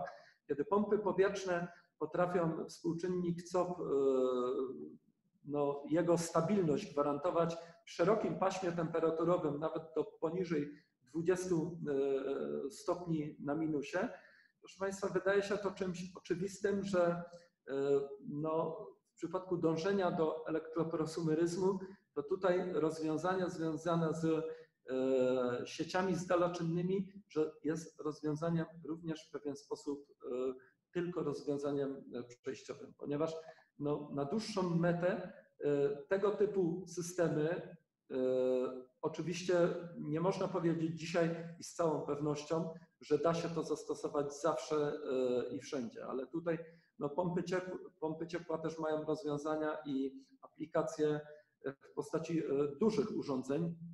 Wiem na pewno, że, że Sztokholm e, korzystał przez lata z e, dużych przemysłowych pomp ciepła i one były wykorzystywane w procesie zaopatrywania właśnie w ciepło tego miasta. Jednakże no, wydaje się, że trend no, funkcjonowania tych pomp ciepła będzie się umacniał i wiele problemów które dzisiaj e, są związane z tymi urządzeniami, mianowicie tym, że one najlepiej e, funkcjonują z ogrzewaniem podłogowym, no, e, poprzez zastosowanie nowych czynników i kaskadowego podejścia może zostać rozwiązane, ponieważ no, będziemy mogli sobie pozwolić na stosowanie wyższych, wyższych temperatur no, przy braku utraty współczynnika, współczynnika COP. E, cóż jeszcze chciałbym powiedzieć? W zasadzie e, już dobiegam do końca swojej prezentacji. E, powiem tylko tak, że no, w zakresie tych systemów zdaloczynnych no, również mamy do czynienia z pewnym dialogiem technicznym, który no, ma wspierać wypracowanie dobrych rozwiązań w przypadku ciepła systemowego i ciepła rozproszonego. Program nazywa się w NCBR elektrociepłownia przyszłości. E, można powiedzieć króciutko również, że e, technologie nowe, które tutaj na tej, na tej mapce zostały pokazane, no, Płock, Włocławek, e, Stalowa Wola, blok uruchomiony parowo-gazowy Żerań, jeszcze wiele innych lokalizacji związanych z blokami parowo-gazowymi, to bardzo dobre technologie na czas transformacji, na czas przejścia. E, technologie, które posiadają wyższe sprawności, które są elastyczne, e, potrafią, e, mają zdolność do częstego uruchamiania i przede wszystkim, tak jak pokazuje tutaj ten rysunek, są technologiami bardziej dynamicznymi. Więc można by powiedzieć, zasady są stworzone do tego, żeby współgrać, rezerwując źródła odnawialne, E, no, aż do, do czasu, kiedy powiedzmy ten e, rynek związany z e, czy to samowystarczalnością energetyczną, czy magazynami energii się nie, nie upowszechni. I króciutko już podsumowując, bo prezentacja przecież dotyczyła audytu energetycznego, chciałbym przez pryzmat tego, co powiedziałem wcześniej, zakończyć w ten sposób, że audyt energetyczny to narzędzie, które w sposób trwały zostało wkomponowane w działalność przedsiębiorstw zwłaszcza energochłonnych, ale również tych mniejszych. To stanie się pewnym standardem i tutaj gorący apel, aby ten audyting energetyczny również rozpatrywać w kontekście właśnie cyfryzacji i wdrożenia e, narzędzi, które ten audyting ułatwią e, w trybie realizacji online'owej. E, w podmiotach, w wielu podmiotach właśnie audyting energetyczny przedsiębiorstw już dzisiaj odbywa się z dochowaniem należytej staranności, no a działania proefektywnościowe są sukcesywnie realizowane, to o czym powiedziałem. Dużą słabością w procesie właśnie dążenia do neutralności klimatycznej, mając na względzie właśnie ten aspekt, jest brak szerszego patrzenia na gospodarowanie surowcami. A y, ta potrzeba, no ja jestem przekonany i tutaj nie mam złudzeń, że y, ona nas dopadnie bardzo szybko i y, przyglądając się procesom technologicznym, warto również patrzeć przez, przez ten pryzmat. W zakresie jednostek samorządu terytorialnego i podmiotów im podległych, właśnie zwłaszcza działań klastrowych i aktywności związanych z samowystarczalnością energetyczną. No tutaj ten element e, umacnia się jeszcze bardziej, ponieważ no patrzenie przez pryzmat kosztu termoekologicznego, rachunku energetycznego i w ogóle zarządzaniem e, środowiskowym, on wydaje się czymś e, naturalnym, ponieważ no, w tym dążeniu do neutralności klimatycznej postęp musimy monitorować. Ja bardzo dużo mówiłem już na ten temat również miesiąc temu. No i odłącznym, nieodłącznym elementem właśnie postępującej cyfryzacji procesów przemysłowych właśnie powinien być ten komponent związany z bieżącym monitoringiem efektywności energetycznej i surowcowej. No trudno sobie wyobrazić e, narzędzia i zabawki związane z przemysłem 4.0 i wspieraniem w okres w ogóle optymalizacji procesów e, no bez tego komponentu, który będzie nas przybliżał do e, wiedzy, jak jesteśmy zaawansowani w e, procesie zbliżania się do neutralności klimatycznej. I w zasadzie na tym chciałbym swoją prezentację zakończyć. Dziękuję bardzo. Dzień dobry Państwu, dziękuję Panie Profesorze. Tematem wystąpienia jest katalog referencyjnych rozwiązań elektroprosumeryzmu, ale jest on tak naprawdę tylko wstępem do jakby nowego podejścia do bilansowania. Na ostatniej prezentacji pokazywałem pewną wybraną os osłonę kontrolną. Była to osłona dedykowana dla miasta 50-100 tysięcy wraz z powiatem. Natomiast takie analizy zostały przeprowadzone również dla e, kilku innych osłon jednostek samorządu terytorialnego, to znaczy od e, obszarów wiejskich przez gminę, właśnie to miasto kończywszy na Warszawie czy GZM. E, bilans czy struktura tutaj wytwórcza, o którym, która jest pokazana, jakby pokazuje pewien, pewne referencyjną strukturę źródeł, pozwalającą zbilansować się no, danemu obszarowi w taki sposób, aby e, deficyt nie przekraczał 1%. Wykorzystane tutaj oprócz standardowych zasobów w postaci źródeł e, no, OZE również usługi kształtowanie profili, czyli tak naprawdę zmianę sposobu użytkowania energii elektrycznej. Wynikiem analizy jest jeszcze analiza kosztów krańcowych, gdzie mamy dla każdej osłony kontrolnej pokazano, pokazane charakterystyki e, no, kosztu oraz wyliczony średni koszt energii. Jak widać, czym mniej technologii jest dostępnych, tym ten koszt jest wyższy. E, kończy się, czy najniższy e, koszt jest na, w Warszawie, gdzie mamy do dyspozycji bardzo dużo technologii, on, ich synergia powoduje, że no, jesteśmy w stanie pokryć zapotrzebowanie za stosunkowo e, niską cenę. To jest oczywiście koszt wytwarzania i dostaw nieuwzględniający marży. Natomiast e, wynikiem kształtowania, albo inaczej, jeżeli wprowadziłem do e, bilansów pewnego rodzaju zmianę sposobu użytkowania energii elektrycznej, byłem w stanie zbilansować dany obszar znacznie lepiej niż e, dopuszczałem możliwość pokrycia zapotrzebowania w każdej chwili, stosując po prostu same technologie, a nie wpływając na e, na, na, na zmianę sposobu użytkowania energii, doprowadzając do nieosiągalnej wcześniej pozycji właśnie niezbilansowania na poziomie 1%. Ograniczenia, które tutaj były stosowane, są dosyć e, istotne, dlatego że zakładają, że nie przesuwamy obciążenia dłużej niż 24 godziny oraz maksymalne niezbilansowanie czy maksymalny poziom kształtowania profili jest na poziomie 15%. I to, co jest pokazane tutaj, pokazuje, że jesteśmy w stanie uzyskać bardzo dobre zbilansowanie w czasie, o którym tutaj mówimy, trwającym 8,5 tysiąca godzin w skali roku dla każdego przypadku, e, dla każdego analizowanego przypadku. Oczywiście pojawiają się tutaj też dwa, e, dwa takie wąsy, gdzie z jednym przypadku ten jest niebezpieczny, ponieważ mamy do czynienia z deficytem, ale nie jest to deficyt na poziomie e, całkowitego braku dostaw energii elektrycznej, ale jest to deficyt no, nie przekraczający tam 30% w skrajnym przypadku. E, czas nie przekracza 300 godzin w skali roku. Więc mamy tutaj bardzo dobre zbilansowanie, a tą całą resztą można się zająć w sposób trochę inny.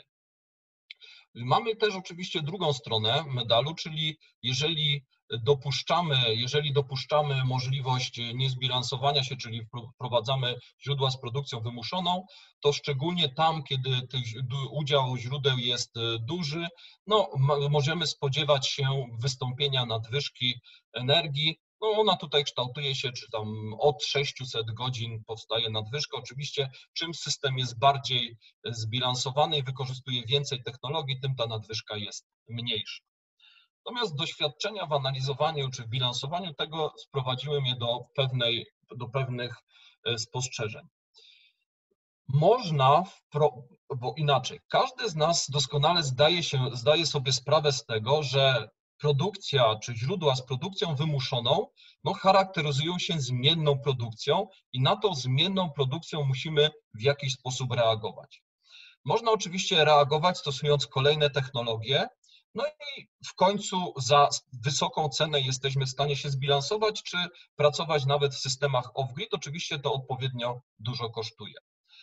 Ale wracając do analizy. Zamiast podejścia deterministycznego spróbowałem zastosować tutaj analizę funkcji prawdopodobieństwa, a właściwie funkcji masy prawdopodobieństwa, jeżeli mówimy tutaj o przebiegach nieciągłych. Analiza została rozpoczęta od e, przeglądu, jak wygląda produkcja źródeł. Jest to uśrednione dla, dla każdego miesiąca. Oczywiście można to zrobić dla każdego tygodnia, dnia, godziny, przechodząc w dół i obliczyć prawdopodobieństwo wystąpienia zbilansowania docelowo, a w tym przypadku wystąpienia pewnej produkcji pochodzącej ze, ze źródła PV. Jeżeli przeanalizujemy sobie, to można pokazać, że e, produkcja kształtuje się według rozkładu normalnej, czyli standardowego rozkładu gaussowskiego i pokazana jest na przebiegu, który tutaj widzimy. Tutaj jest to, to jest roczna produkcja. Oczywiście dla każdego miesiąca e, krzywa ta będzie wyglądała trochę inaczej, ale w każdym przypadku zachowuje się jak typowa krzywa e, gaussowska. Pierwszym problemem to było pokazanie czy przeanalizowanie, jak to będzie wyglądało w sytuacji, kiedy traktujemy, czy mamy do czynienia z wieloma zmiennymi i pewną analizę statystyczną. Bardzo dobrym metodą jest stosowanie wykresu skrzynkowego. Wykres ten jakby na jednym miejscu pozwala bardzo dużo informacji przemycić. Te, te liczby, które tutaj się pojawiają, no, mówią nam o rozkładzie statystycznym. Można bardzo łatwo prze, prze, przekształcić ją w krzywą, e, taką jak to było pokazane wcześniej. Charakterystyczne punkty to są związane te tak zwane wąsy tutaj, czyli mamy wartość minimalną oraz wartość maksymalną. Pojawiają się też wartości, wartości odstające, czyli wartości, które no, odstają od typowej statystyki, są jakieś tam poza, po, poza analizą. Widzimy tutaj wartość średnią, nie zawsze akurat w tym przypadku jest równa z medianą, ale to oczywiście nie jest zawsze tak samo. I mamy pierwszy kwartyl, medianę i trzeci kwartyl. To, co widzimy, znaczy do czego dążymy? Dążymy do tego, żeby wąsy były jak najniższe, nie było, nie było wartości odstających i oczywiście kształt tego pudełka był jak najwęższy. Dzięki temu prawdopodobieństwo wystąpienia danej produkcji będzie wysokie. Przeprowadzając analizę dla całego roku, a właściwie za całych 12 lat, można wyrysować e, takie wykresy skrzynkowe czy wykresy pudełkowe, w różny sposób się je nazywa. No i widzimy tutaj, jak kształtuje się produkcja. Pokazanie czy podejście z wykorzystaniem rachunku prawdopodobieństwa, podejście probabilistyczne pozwala jakby przedstawić sposób skondensowany produkcję energii, w tym przypadku w źródłach, a docelowo w całym bilansowaniu, jeżeli uwzględnimy również e, podejście niedeterministyczne dla, e, dla poboru czy dla e, wartości zapotrzebowania energii. Opis ten może być wykorzystany do przedstawienia całego bilansu w, poziomie, w, w, kontekście jakby poziomów bezpieczeństwa, które od kilku lat wprowadza profesor e, Popczyk, gdzie mamy do czynienia jakby z trzema poziomami, czyli poziom, który musi być zawsze spełniony, poziom, gdzie e, istnieją pewne ograniczenia oraz poziom, gdzie właściwie tych ograniczeń nie ma i uwzględnienie czy podejście w sposób e, z wykorzystaniem rachunku prawdopodobieństwa pozwala nam bardzo dokładnie określić strukturę, która potrafi zapełnić z blisko stuprocentową, bo jak wiemy oczywiście w przypadku prawdopodobieństwa e, pewności stuprocentowej, pewność stuprocentowa właściwie nie istnieje, ale jesteśmy w stanie zapewnić blisko tej stuprocentowej e, pewności odpowiedni poziom bezpieczeństwa dostaw czy bezpieczeństwa dostaw energii, e, a właściwie pokryć zapotrzebowania, najlepiej w elektroprosumeryzmie, bo do tego dążymy. Warto też zobaczyć, aha, wykres, który jest pokazany tutaj, może też być e, bardzo dobry do szacowania ryzyka inwestycyjnego, dlatego że pozwala nam określić z pewnym prawdopodobieństwem, e, czego spodziewamy się, czy w perspektywie dosyć długiego okresu czasu możemy oszacować to ryzyko inwestycyjne na podstawie e, produkcji zapotrzebowania, a w końcu również bilansu energetycznego dla danego obszaru.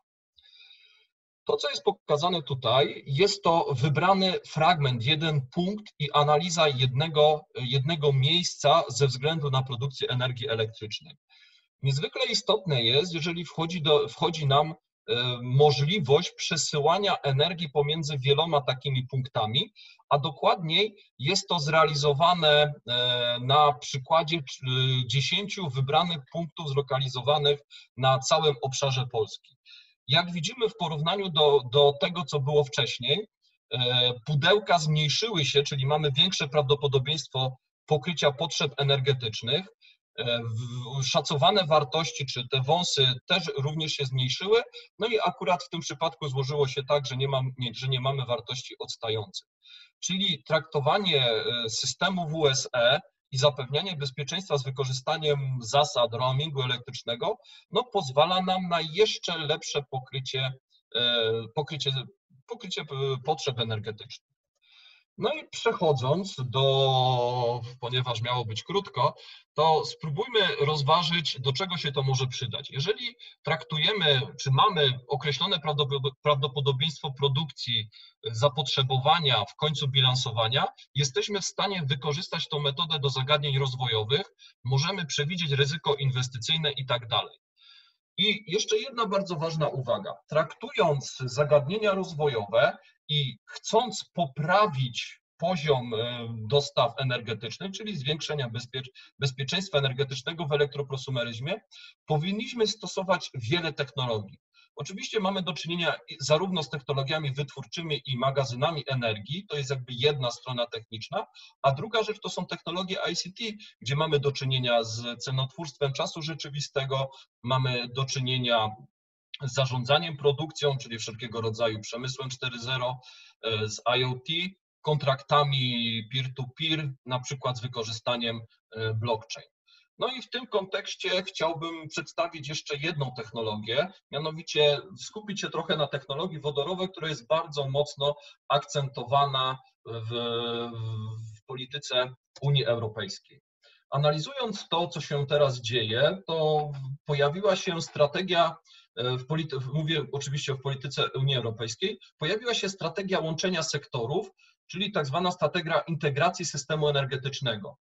Jest to realizowane w ten sposób, że system czy cała energetyka ma być planowana i zarządzana jako całość, łącząc poszczególne nośniki energii, infrastrukturę i sektory, w których konsumowana jest energia. To jest, dosłowny, to jest dosłowny cytat, oczywiście z tłumaczenia. Natomiast e, wynikają z tego jakby wnioski, a właściwie trzy filary, które bardzo dobrze wpisują się w elektroprosumeryzm. Bo po pierwsze mamy do czynienia z bardziej efektywnym wykorzystaniem energii i tu chodzi o produkcję z lokalnych źródeł, ale w tym również pasywizacja e, budynku i o tym, co, profesor wspominał e, kilkukrotnie, czyli tak zwany renovation wave, czyli e, strategia renowacji no, właściwie wszystkich budynków. Dalej mamy elektryfikację sektorów, gdzie, w których konsumowana jest energia, czyli to, o czym też jest wspomina, wspominane. Jako uzupełnieniem tego jest wykorzystanie alternatywnych czystych paliw. Nie mówi się tutaj oczywiście o gazie, mamy raczej, jest mowa o biogazie, biopaliwa i o wodorze jako głównym, wiodącym, czy wiodącym w procesie no, transformacji energetycznej do roku 2000, 2050.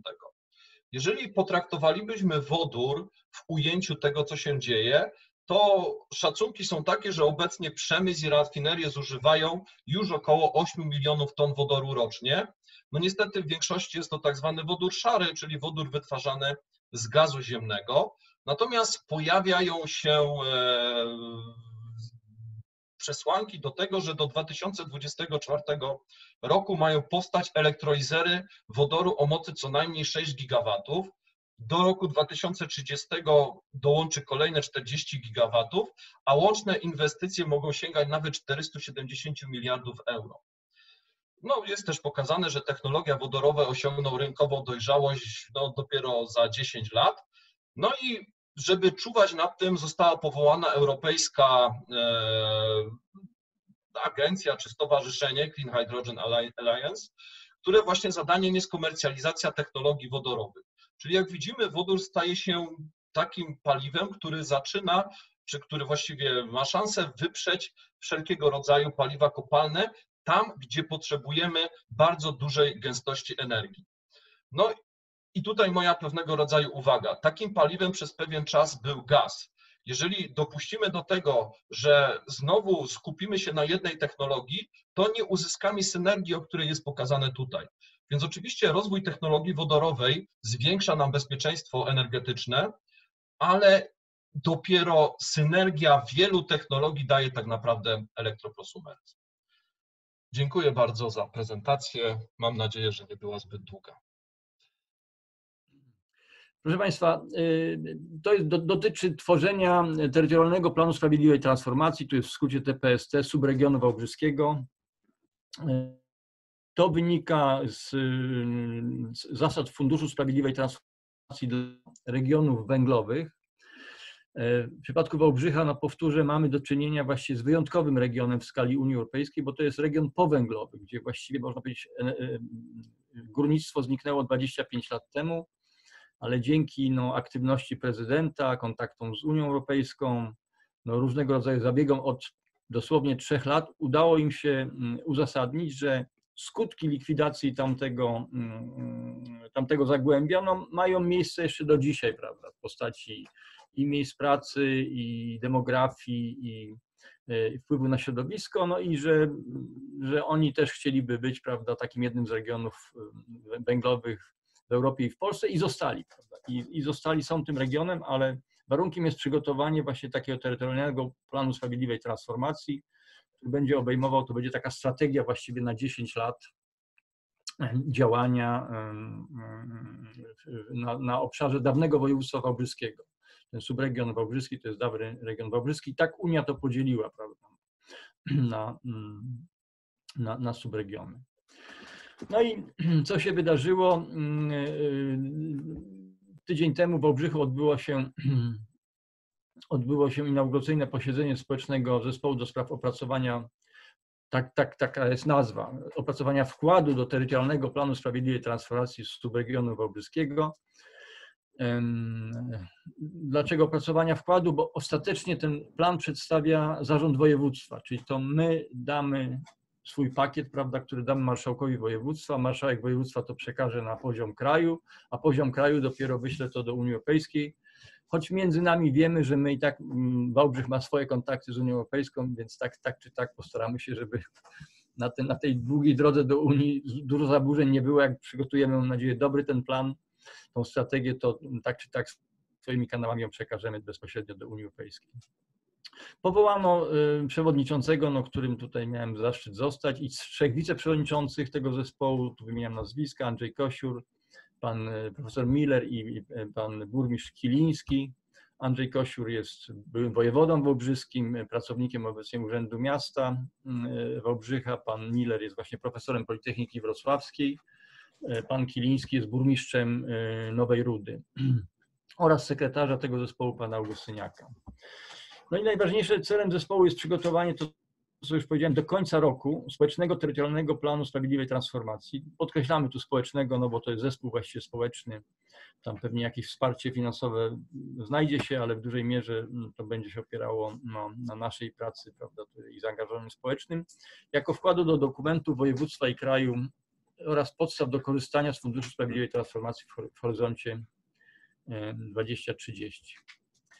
E, profesor Poprzyk, który no nie mógł przyjechać na, na zespół, e, przygotował bardzo dobre przesłanie, które zostało odczytane podczas posiedzenia i później właściwie było, można powiedzieć, no wracano do niego, było dyskutowane. Fragment tego przesłania, tu cytuję, Istotą wyzwania, przed którym stoi zespół, jest skoordynowanie zadań projektowych wrażliwych na kalendarz wyborczy. Mówimy tu o wyborach między innymi do samorządu, których w międzyczasie w ciągu tych 10 lat będą trzy, czy co 4 lata odbywają się wybory, co ma znaczenie oczywiście polityczne, ważne, prawda, i to jest istotne spostrzeżenie pana profesora, o dziesięcioletnim horyzoncie czasowym z podstawami fundamentalnymi, dziesięcioletnim, bo ten terytorialny plan i Fundusz Sprawiedliwej Transformacji jest przewidziany do 2030 roku, czyli na 10 lat, trochę dłużej niż, niż fundusze Unii Europejskiej, te 21-27.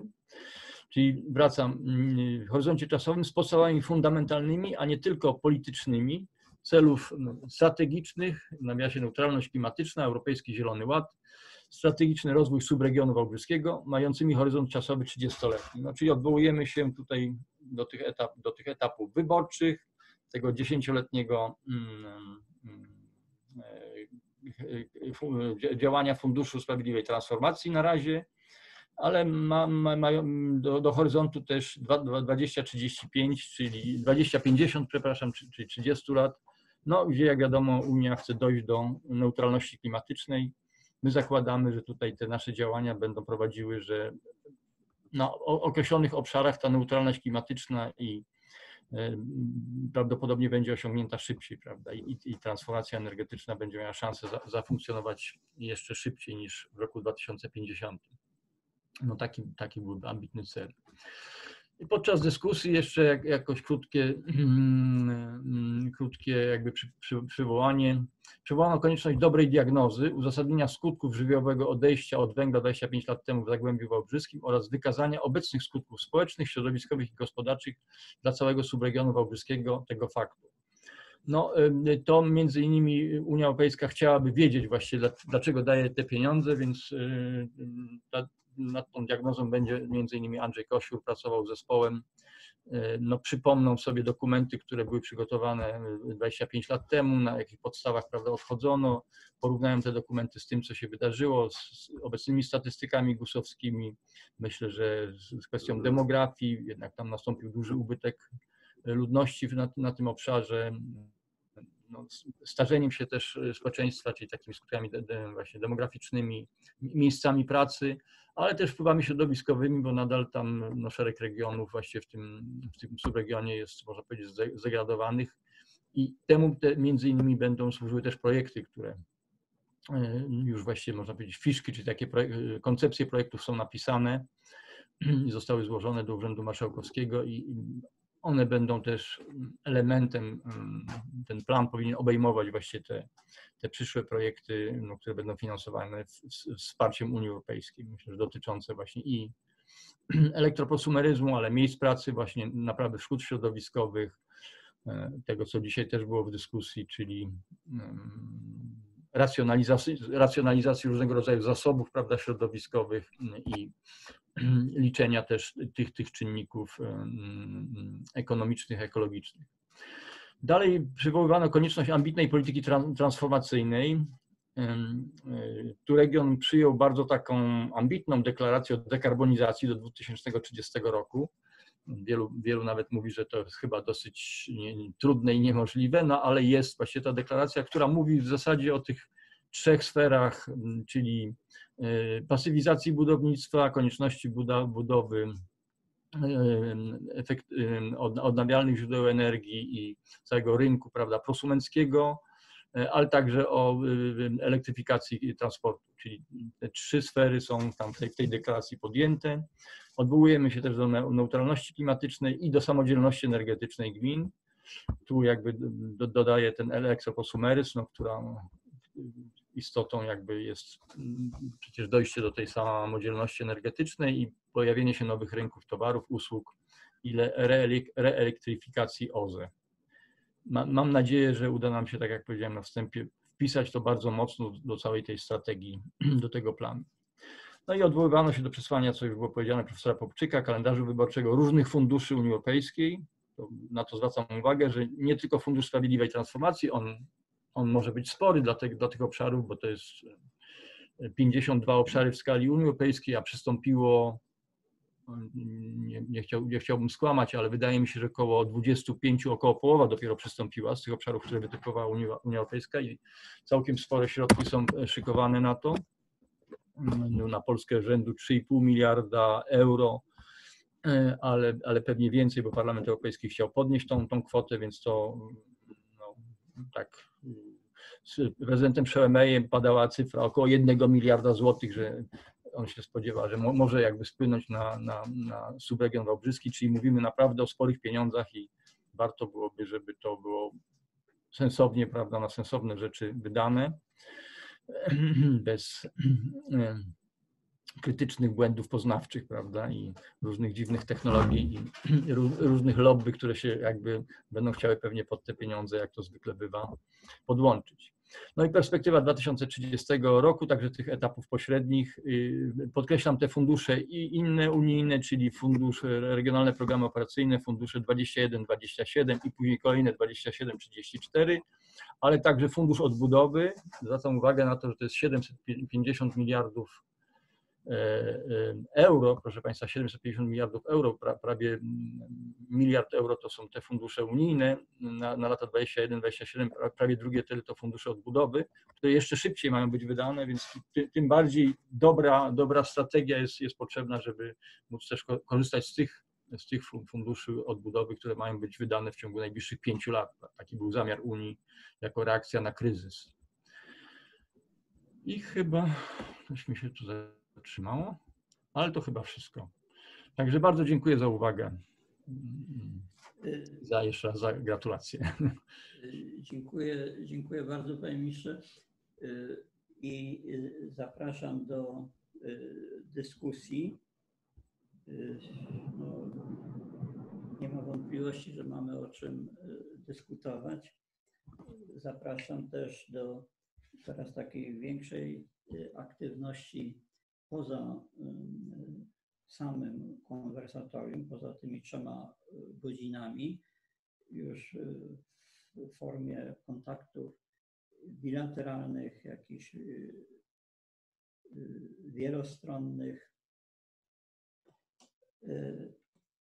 Coraz lepiej chyba odczytujemy potrzebę unifikacji różnych obszarów naszych działań i na tyle, na ile uda nam się osiągnąć tutaj postęp, na, na tyle będziemy y, mogli się pozytywnie y, oceniać. Y, no i, i, i podkreślę, tutaj z wielkim napięciem będę oczekiwał na, na głos ekonomistów. Jeżeli dzisiaj jest silna reprezentacja profesorska, to pewne zapowiedzi na pewno wzmocniłyby nas y, wszystkich, mnie, mnie na, na pewno. Jeżeli chodzi o ten projekt Wałbrzyski, ja, ja króciutko jeszcze takie, taką jedną myśl tutaj przedstawię. Otóż sam przyznam się, że, że parę miesięcy temu y, miałem taki niepokój w sobie dotyczący y, czym będzie ta sprawiedliwa transformacja? Bo jakby osobiście przechodziłem to, co było tutaj na początku lat 90., no, zwłaszcza na, na Śląsku, w Polsce w wypadku energetyki, całej elektroenergetyki.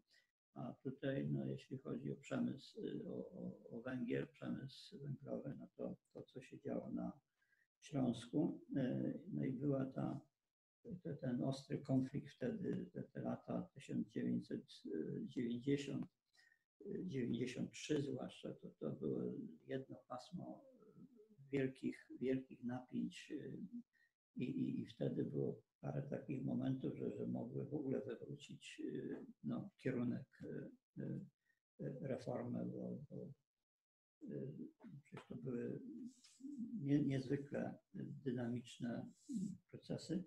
No ale wtedy też ta, ta pierwsza restrukturyzacja górnictwa, nie, nie sprawiedliwej transformacji, ale pierwsza restrukturyzacja.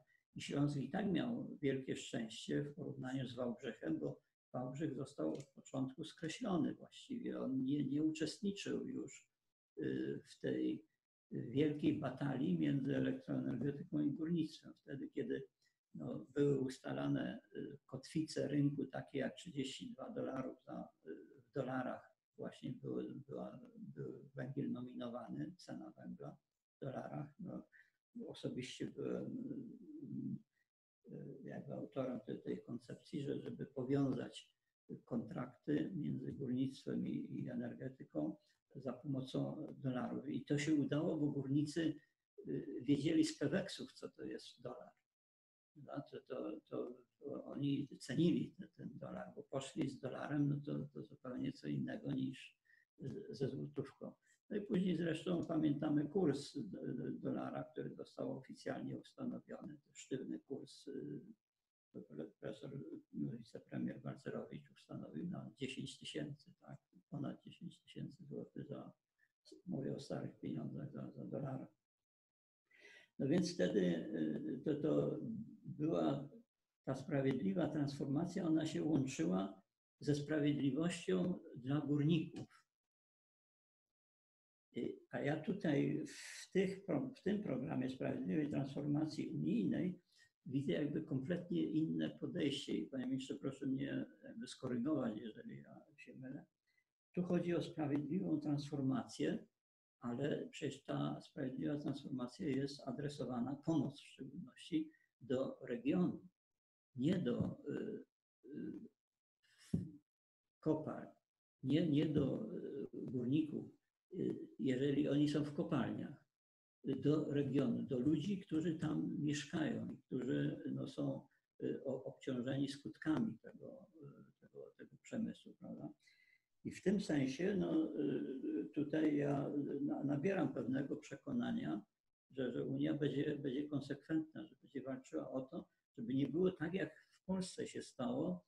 Przecież pamiętamy te wielkie odszkodowania, które górnicy uzyskali. Pieniądze poszły, ale to dalekie było od sensownego wydawania pieniędzy, bo one poszły na nie przygotowanie ludzi do pracy na nowych stanowiskach roboczych, tylko poszły no, na ogół w konsumpcję. I, i jak prezydent Szołemej znaczy przedstawiał nam miesiąc temu sytuację Wałbrzecha, to Wałbrzych nie miał te, te, tego komfortu. Tam oni zostali zostawieni na, na boku i, i przeszli tą, tą tragedię. Więc podkreślam, że sprawiedliwa transformacja to jest sprawiedliwa transformacja dla regionu i pobudzenia y, y, regionu do nowego, do nowego życia. Bo wiadomo, że przyszłość nie zaakceptuje kopalni, ale przyszłość zaakceptuje ludzi. To, to nie ulega wątpliwości. Prawda? Ludzi zaakceptuje i tym ludziom trzeba tam stworzyć warunki do tego, żeby oni się transformowali, żeby oni, oni zdobyli te nowe kwalifikacje, ale wykorzystali nową szansę. Bardzo proszę o, o, o dyskusję. Tutaj doktora Bocka proszę o pokierowanie ruchem na, na platformie zresztą nie ma innego wyjścia, bo wszystkie ma narzędzia do kierowania. No i, i od Pana, Panie doktorze, będzie zależała selekcja pytań, no ale Pan jest tak wciągnięty w tematykę, że znakomicie Pan to zrobił. Bardzo proszę. Panie profesorze, pan Witold Szczeciński jakby pokazał dwa, nawet trzy pytania zadał. Ponieważ widzę, że jest jeszcze obecny, może by poprosił o, o głos. Jest, jest pan, panie? To... Oczywiście jestem. Mhm. Słychać mnie? Tak, tak, słychać, bardzo dobrze. E, no, jestem pełen podziwu dla postępu, bo byłem przez pewien czas wyłączony teraz szczęśliwie w ten wtorek mogę uczestniczyć w konwersatorium. Także początek i, i początek takich, e, e, takich działań jak pan minister, czyli działań już idących w estymację praktycznych rozwiązań, to jest to, co może y, nas upowszechnić, bo prawdę mówiąc, będąc pewien czas z Państwem, nauczyłem się rozumieć ten hermetyczny język, ale żeby to upowszechnić, to musimy odejść od hermetyzacji tego języka i tak jak zrobił pan minister, przejść na język bardziej dla ludzi zrozumiały, czyli program dla Wałbrzyskiego musi być programem, który ludzie e, zaczną czytać, rozumieć i pójść za tym. E, tak samo pozwoliłem sobie mieć kilka uwag co do budownictwa, no bo jestem w tym sławnym, e, wspaniałym gronie energetyków, jedynym chyba budowlańcem.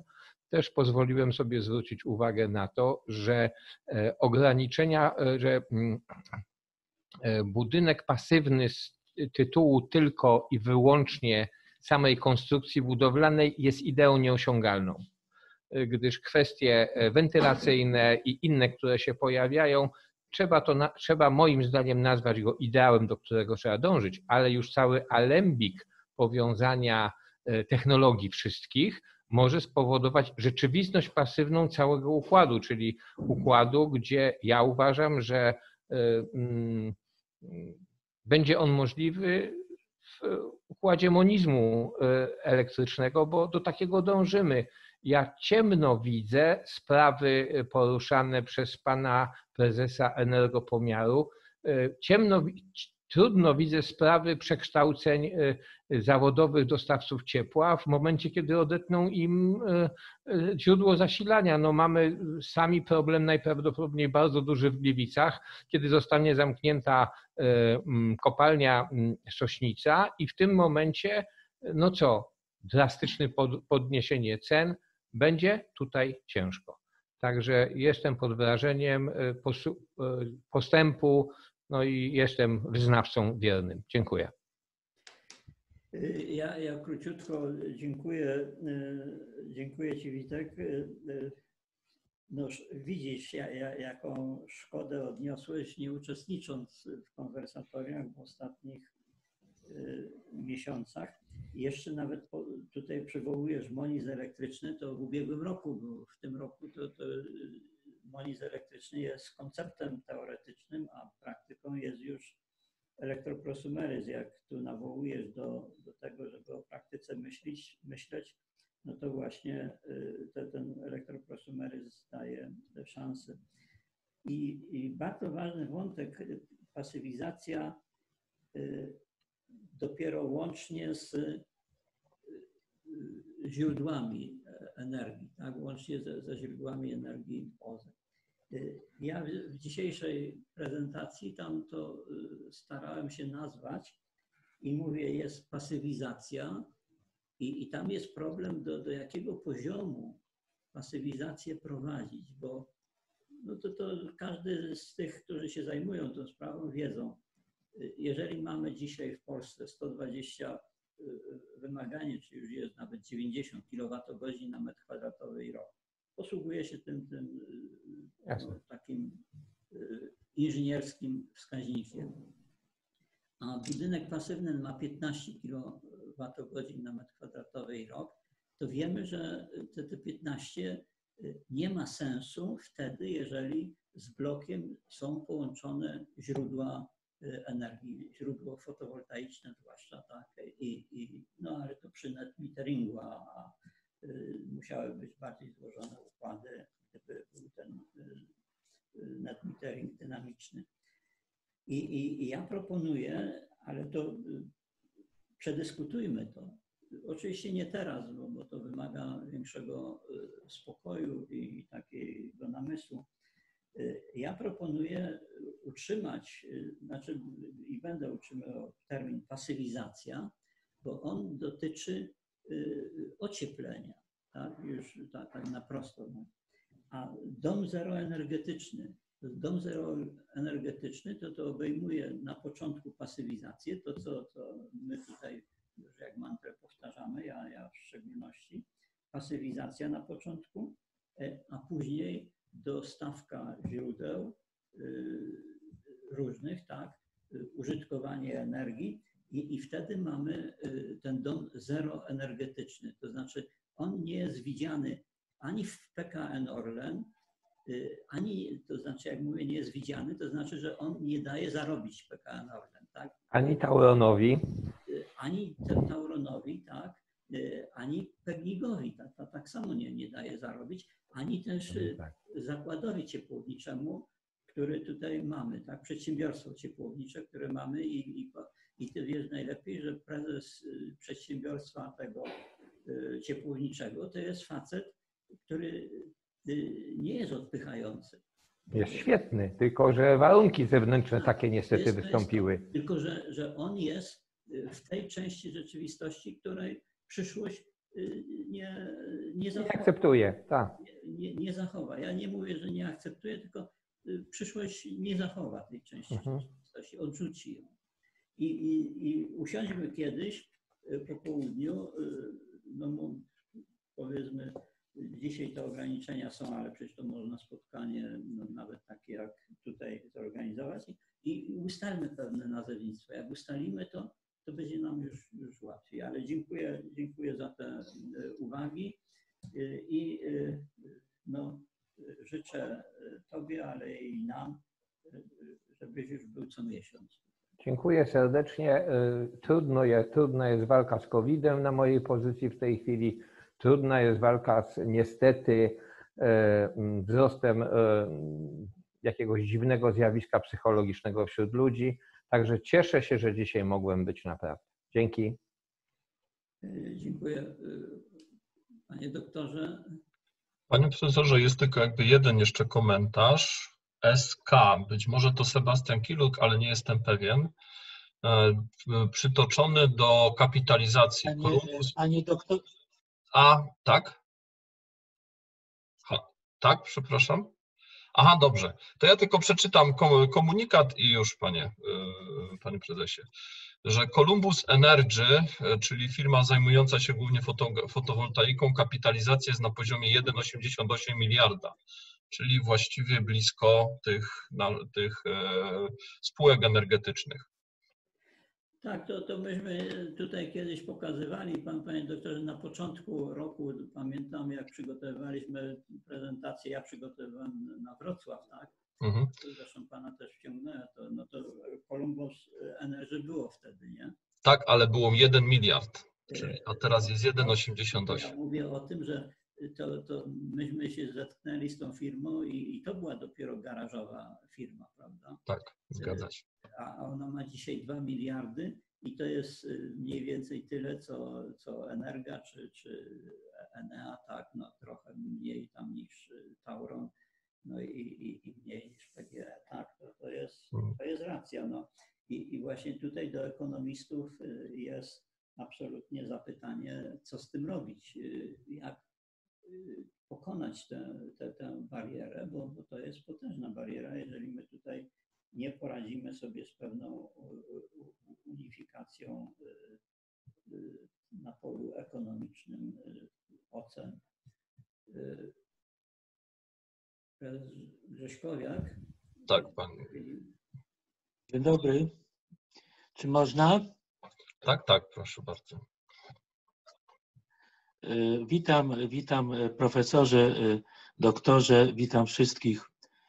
Chciałbym się podzielić y, kilkoma doświadczeniami po tym okresie niebytu y, w Ostrowie Wielkopolskim w kontekście elektroprosumeryzmu i tej inicjatywy wałbrzyskiej.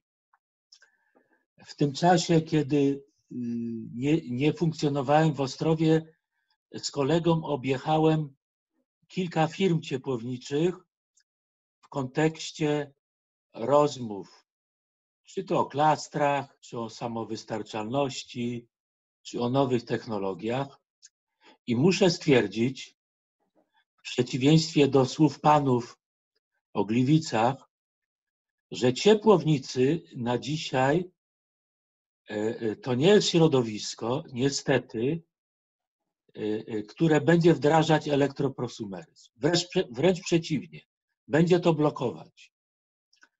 I nawiązując do Wałbrzycha, bo też mam dosyć takie doświadczenia z okresu, kiedy pracowałem w Fortum. A Fortum zaczynało w Dolnośląskim Zakładzie Termoenergetycznym. I, I tutaj do pana ministra. Tam jest szereg przedsiębiorstw ciepłowniczych i z tego okresu, jak ja pamiętam, Fortumowskiego, to było na zasadzie łap króliczka, czyli próbuj coś robić, ale nic nie rób. I Wałbrzych jest doskonałym tego przykładem. Tam jest 100% węgla i nigdy, nigdy nawet e, e, tematy kogeneracji i czegokolwiek nie zyskały akceptacji. Świdnica podobnie. No i, i, ale to być może jest dobry poligon doświadczalny tego subregionu wałbrzyskiego, żeby wprowadzić ten elektroprosumeryzm. Skoro y, to ciepłownictwo w 100% oparte na węglu, niestety Gliwice też, szanowni panowie. Niestety Gliwice też i bez kogeneracji. Y, I ta, to hasło 300%, tu chodzi o 300%. Z kolegą y, zainstalowaliśmy pompy ciepła, fotowoltaikę i teraz doświadczamy tego wszystkiego. No coś wspaniałego. No po prostu mamy energię ze słońca, faktem, nie mamy akumulatora, y, magazynu energii, ale przy tych zasadach na dzisiaj prosumentów, które są, no to ja nie widzę lepszego rozwiązania. 300%. To, co mówimy. 300% efektywności w stosunku do dotychczasowych rozwiązań. Elektroprosumeryzm jak najbardziej, za mało chyba jeszcze o tym mówimy. Aha, jeszcze chciałbym tutaj o Żmigrodzie powiedzieć. Faktycznie złożonych zostało dużo wniosków w Dolinie Baryczy o dziwo na pompy ciepła. O ile y, patrzyłem w innych miastach, to tam ciągle kotły y, piątej generacji, kotły gazowe, a tam udało się burmistrzowi, między innymi Żmigrodu, namówić y, wielu, wielu wnioskodawców do pomp ciepła i fotowoltaiki. Czyli może to, co pan doktor mówił, w tych gminach wiejskich szybciej będzie transformacja energetyczna niż w wielkich miastach. No to tyle z, z mojej strony. Bardzo dziękuję panie prezesie. No ja nie osiągnąłem na razie swojego skutku swojej, swojej zachęty. Nie, nie, nie, nie doznałem bo mówiłem, że no, nas by tu interesowały doświadczenia y, Ostrowa Wielkopolskiego, y, ta, takie teraz, po, po, tej przerwie, którą Pan zresztą sam zasygnalizował. To może za miesiąc, profesorze. Bardzo dobrze, to trzymamy za słowo. A wracając do Wałbrzycha i do Gliwic, jak ja mówiłem o tym, że prezes zakładu ciepłowniczego Y, to jest ten, który szuka pewnych y, y, relacji, pewnych rozwiązań. Ja mówię to na podstawie wiedzy o stosunkach ludzi, którzy zmieniają ciepłownictwo prezesach spółdzielni mieszkaniowej, tak, tak jak tutaj było, ale też o ludziach, które znamy y, w środowisku y, naszym konwersatoryjnym. Y, Jurkiewicz na przykład, prezes Jurkiewicz, który tutaj występował, to, to oni mają bardzo dobre relacje z tym przedsiębiorstwem, bo jak proponują rozwiązanie, to, to tu nie ma blokady. Ale to jest na poziomie prezesa. Ja nie mówiłem o tym, że zakład ciepłowniczy jest, przedsiębiorstwo ciepłownicze jest. y, Pan pewnie powie, no to jak, y, złe przedsiębiorstwo, a dobry prezes? Y, No, trzeba będzie to, te, ten dylemat głębiej na, naświetlić, jak, jak to jest. Ale tu nie ma blokady ze strony y, przedsiębiorstwa y, dla tych, którzy mają nowe pomysły, bo, bo ja się tego, tego boję, prawda? Y, Natomiast trzeba ich przycisnąć, żeby faktycznie, no co tu przyciskać, to ich przyszłość odrzuci. Węgla nie, nie zaakceptuje. Prawda? Jako podstawowego paliwa dla ciepłownictwa, nawet sieciowego ciepłownictwa, gdzie mówi się, no przecież tam, tam filtry, tam y, y, sprawność i, i, i tak dalej, no. Ale sieć też. Prawda? Co się na sprawności w źródle zyska, to, to na sieci, sieci się straci na przede wszystkim samo paliwo. Także, pa- panie prezesie, czekamy na pańską, pański wkład za, za miesiąc. Właśnie tutaj y, no, prezesa Tomasika też. y, Ja mam tam sposoby na to, żeby go trochę przycisnąć, y, że- żeby on też wystąpił, tak, i, i odbędziecie tutaj taki, taką- rundę na ringu, no ale rundę przyjaciół, a, a, a nie rundę bokserów, którzy się chcą pozabijać.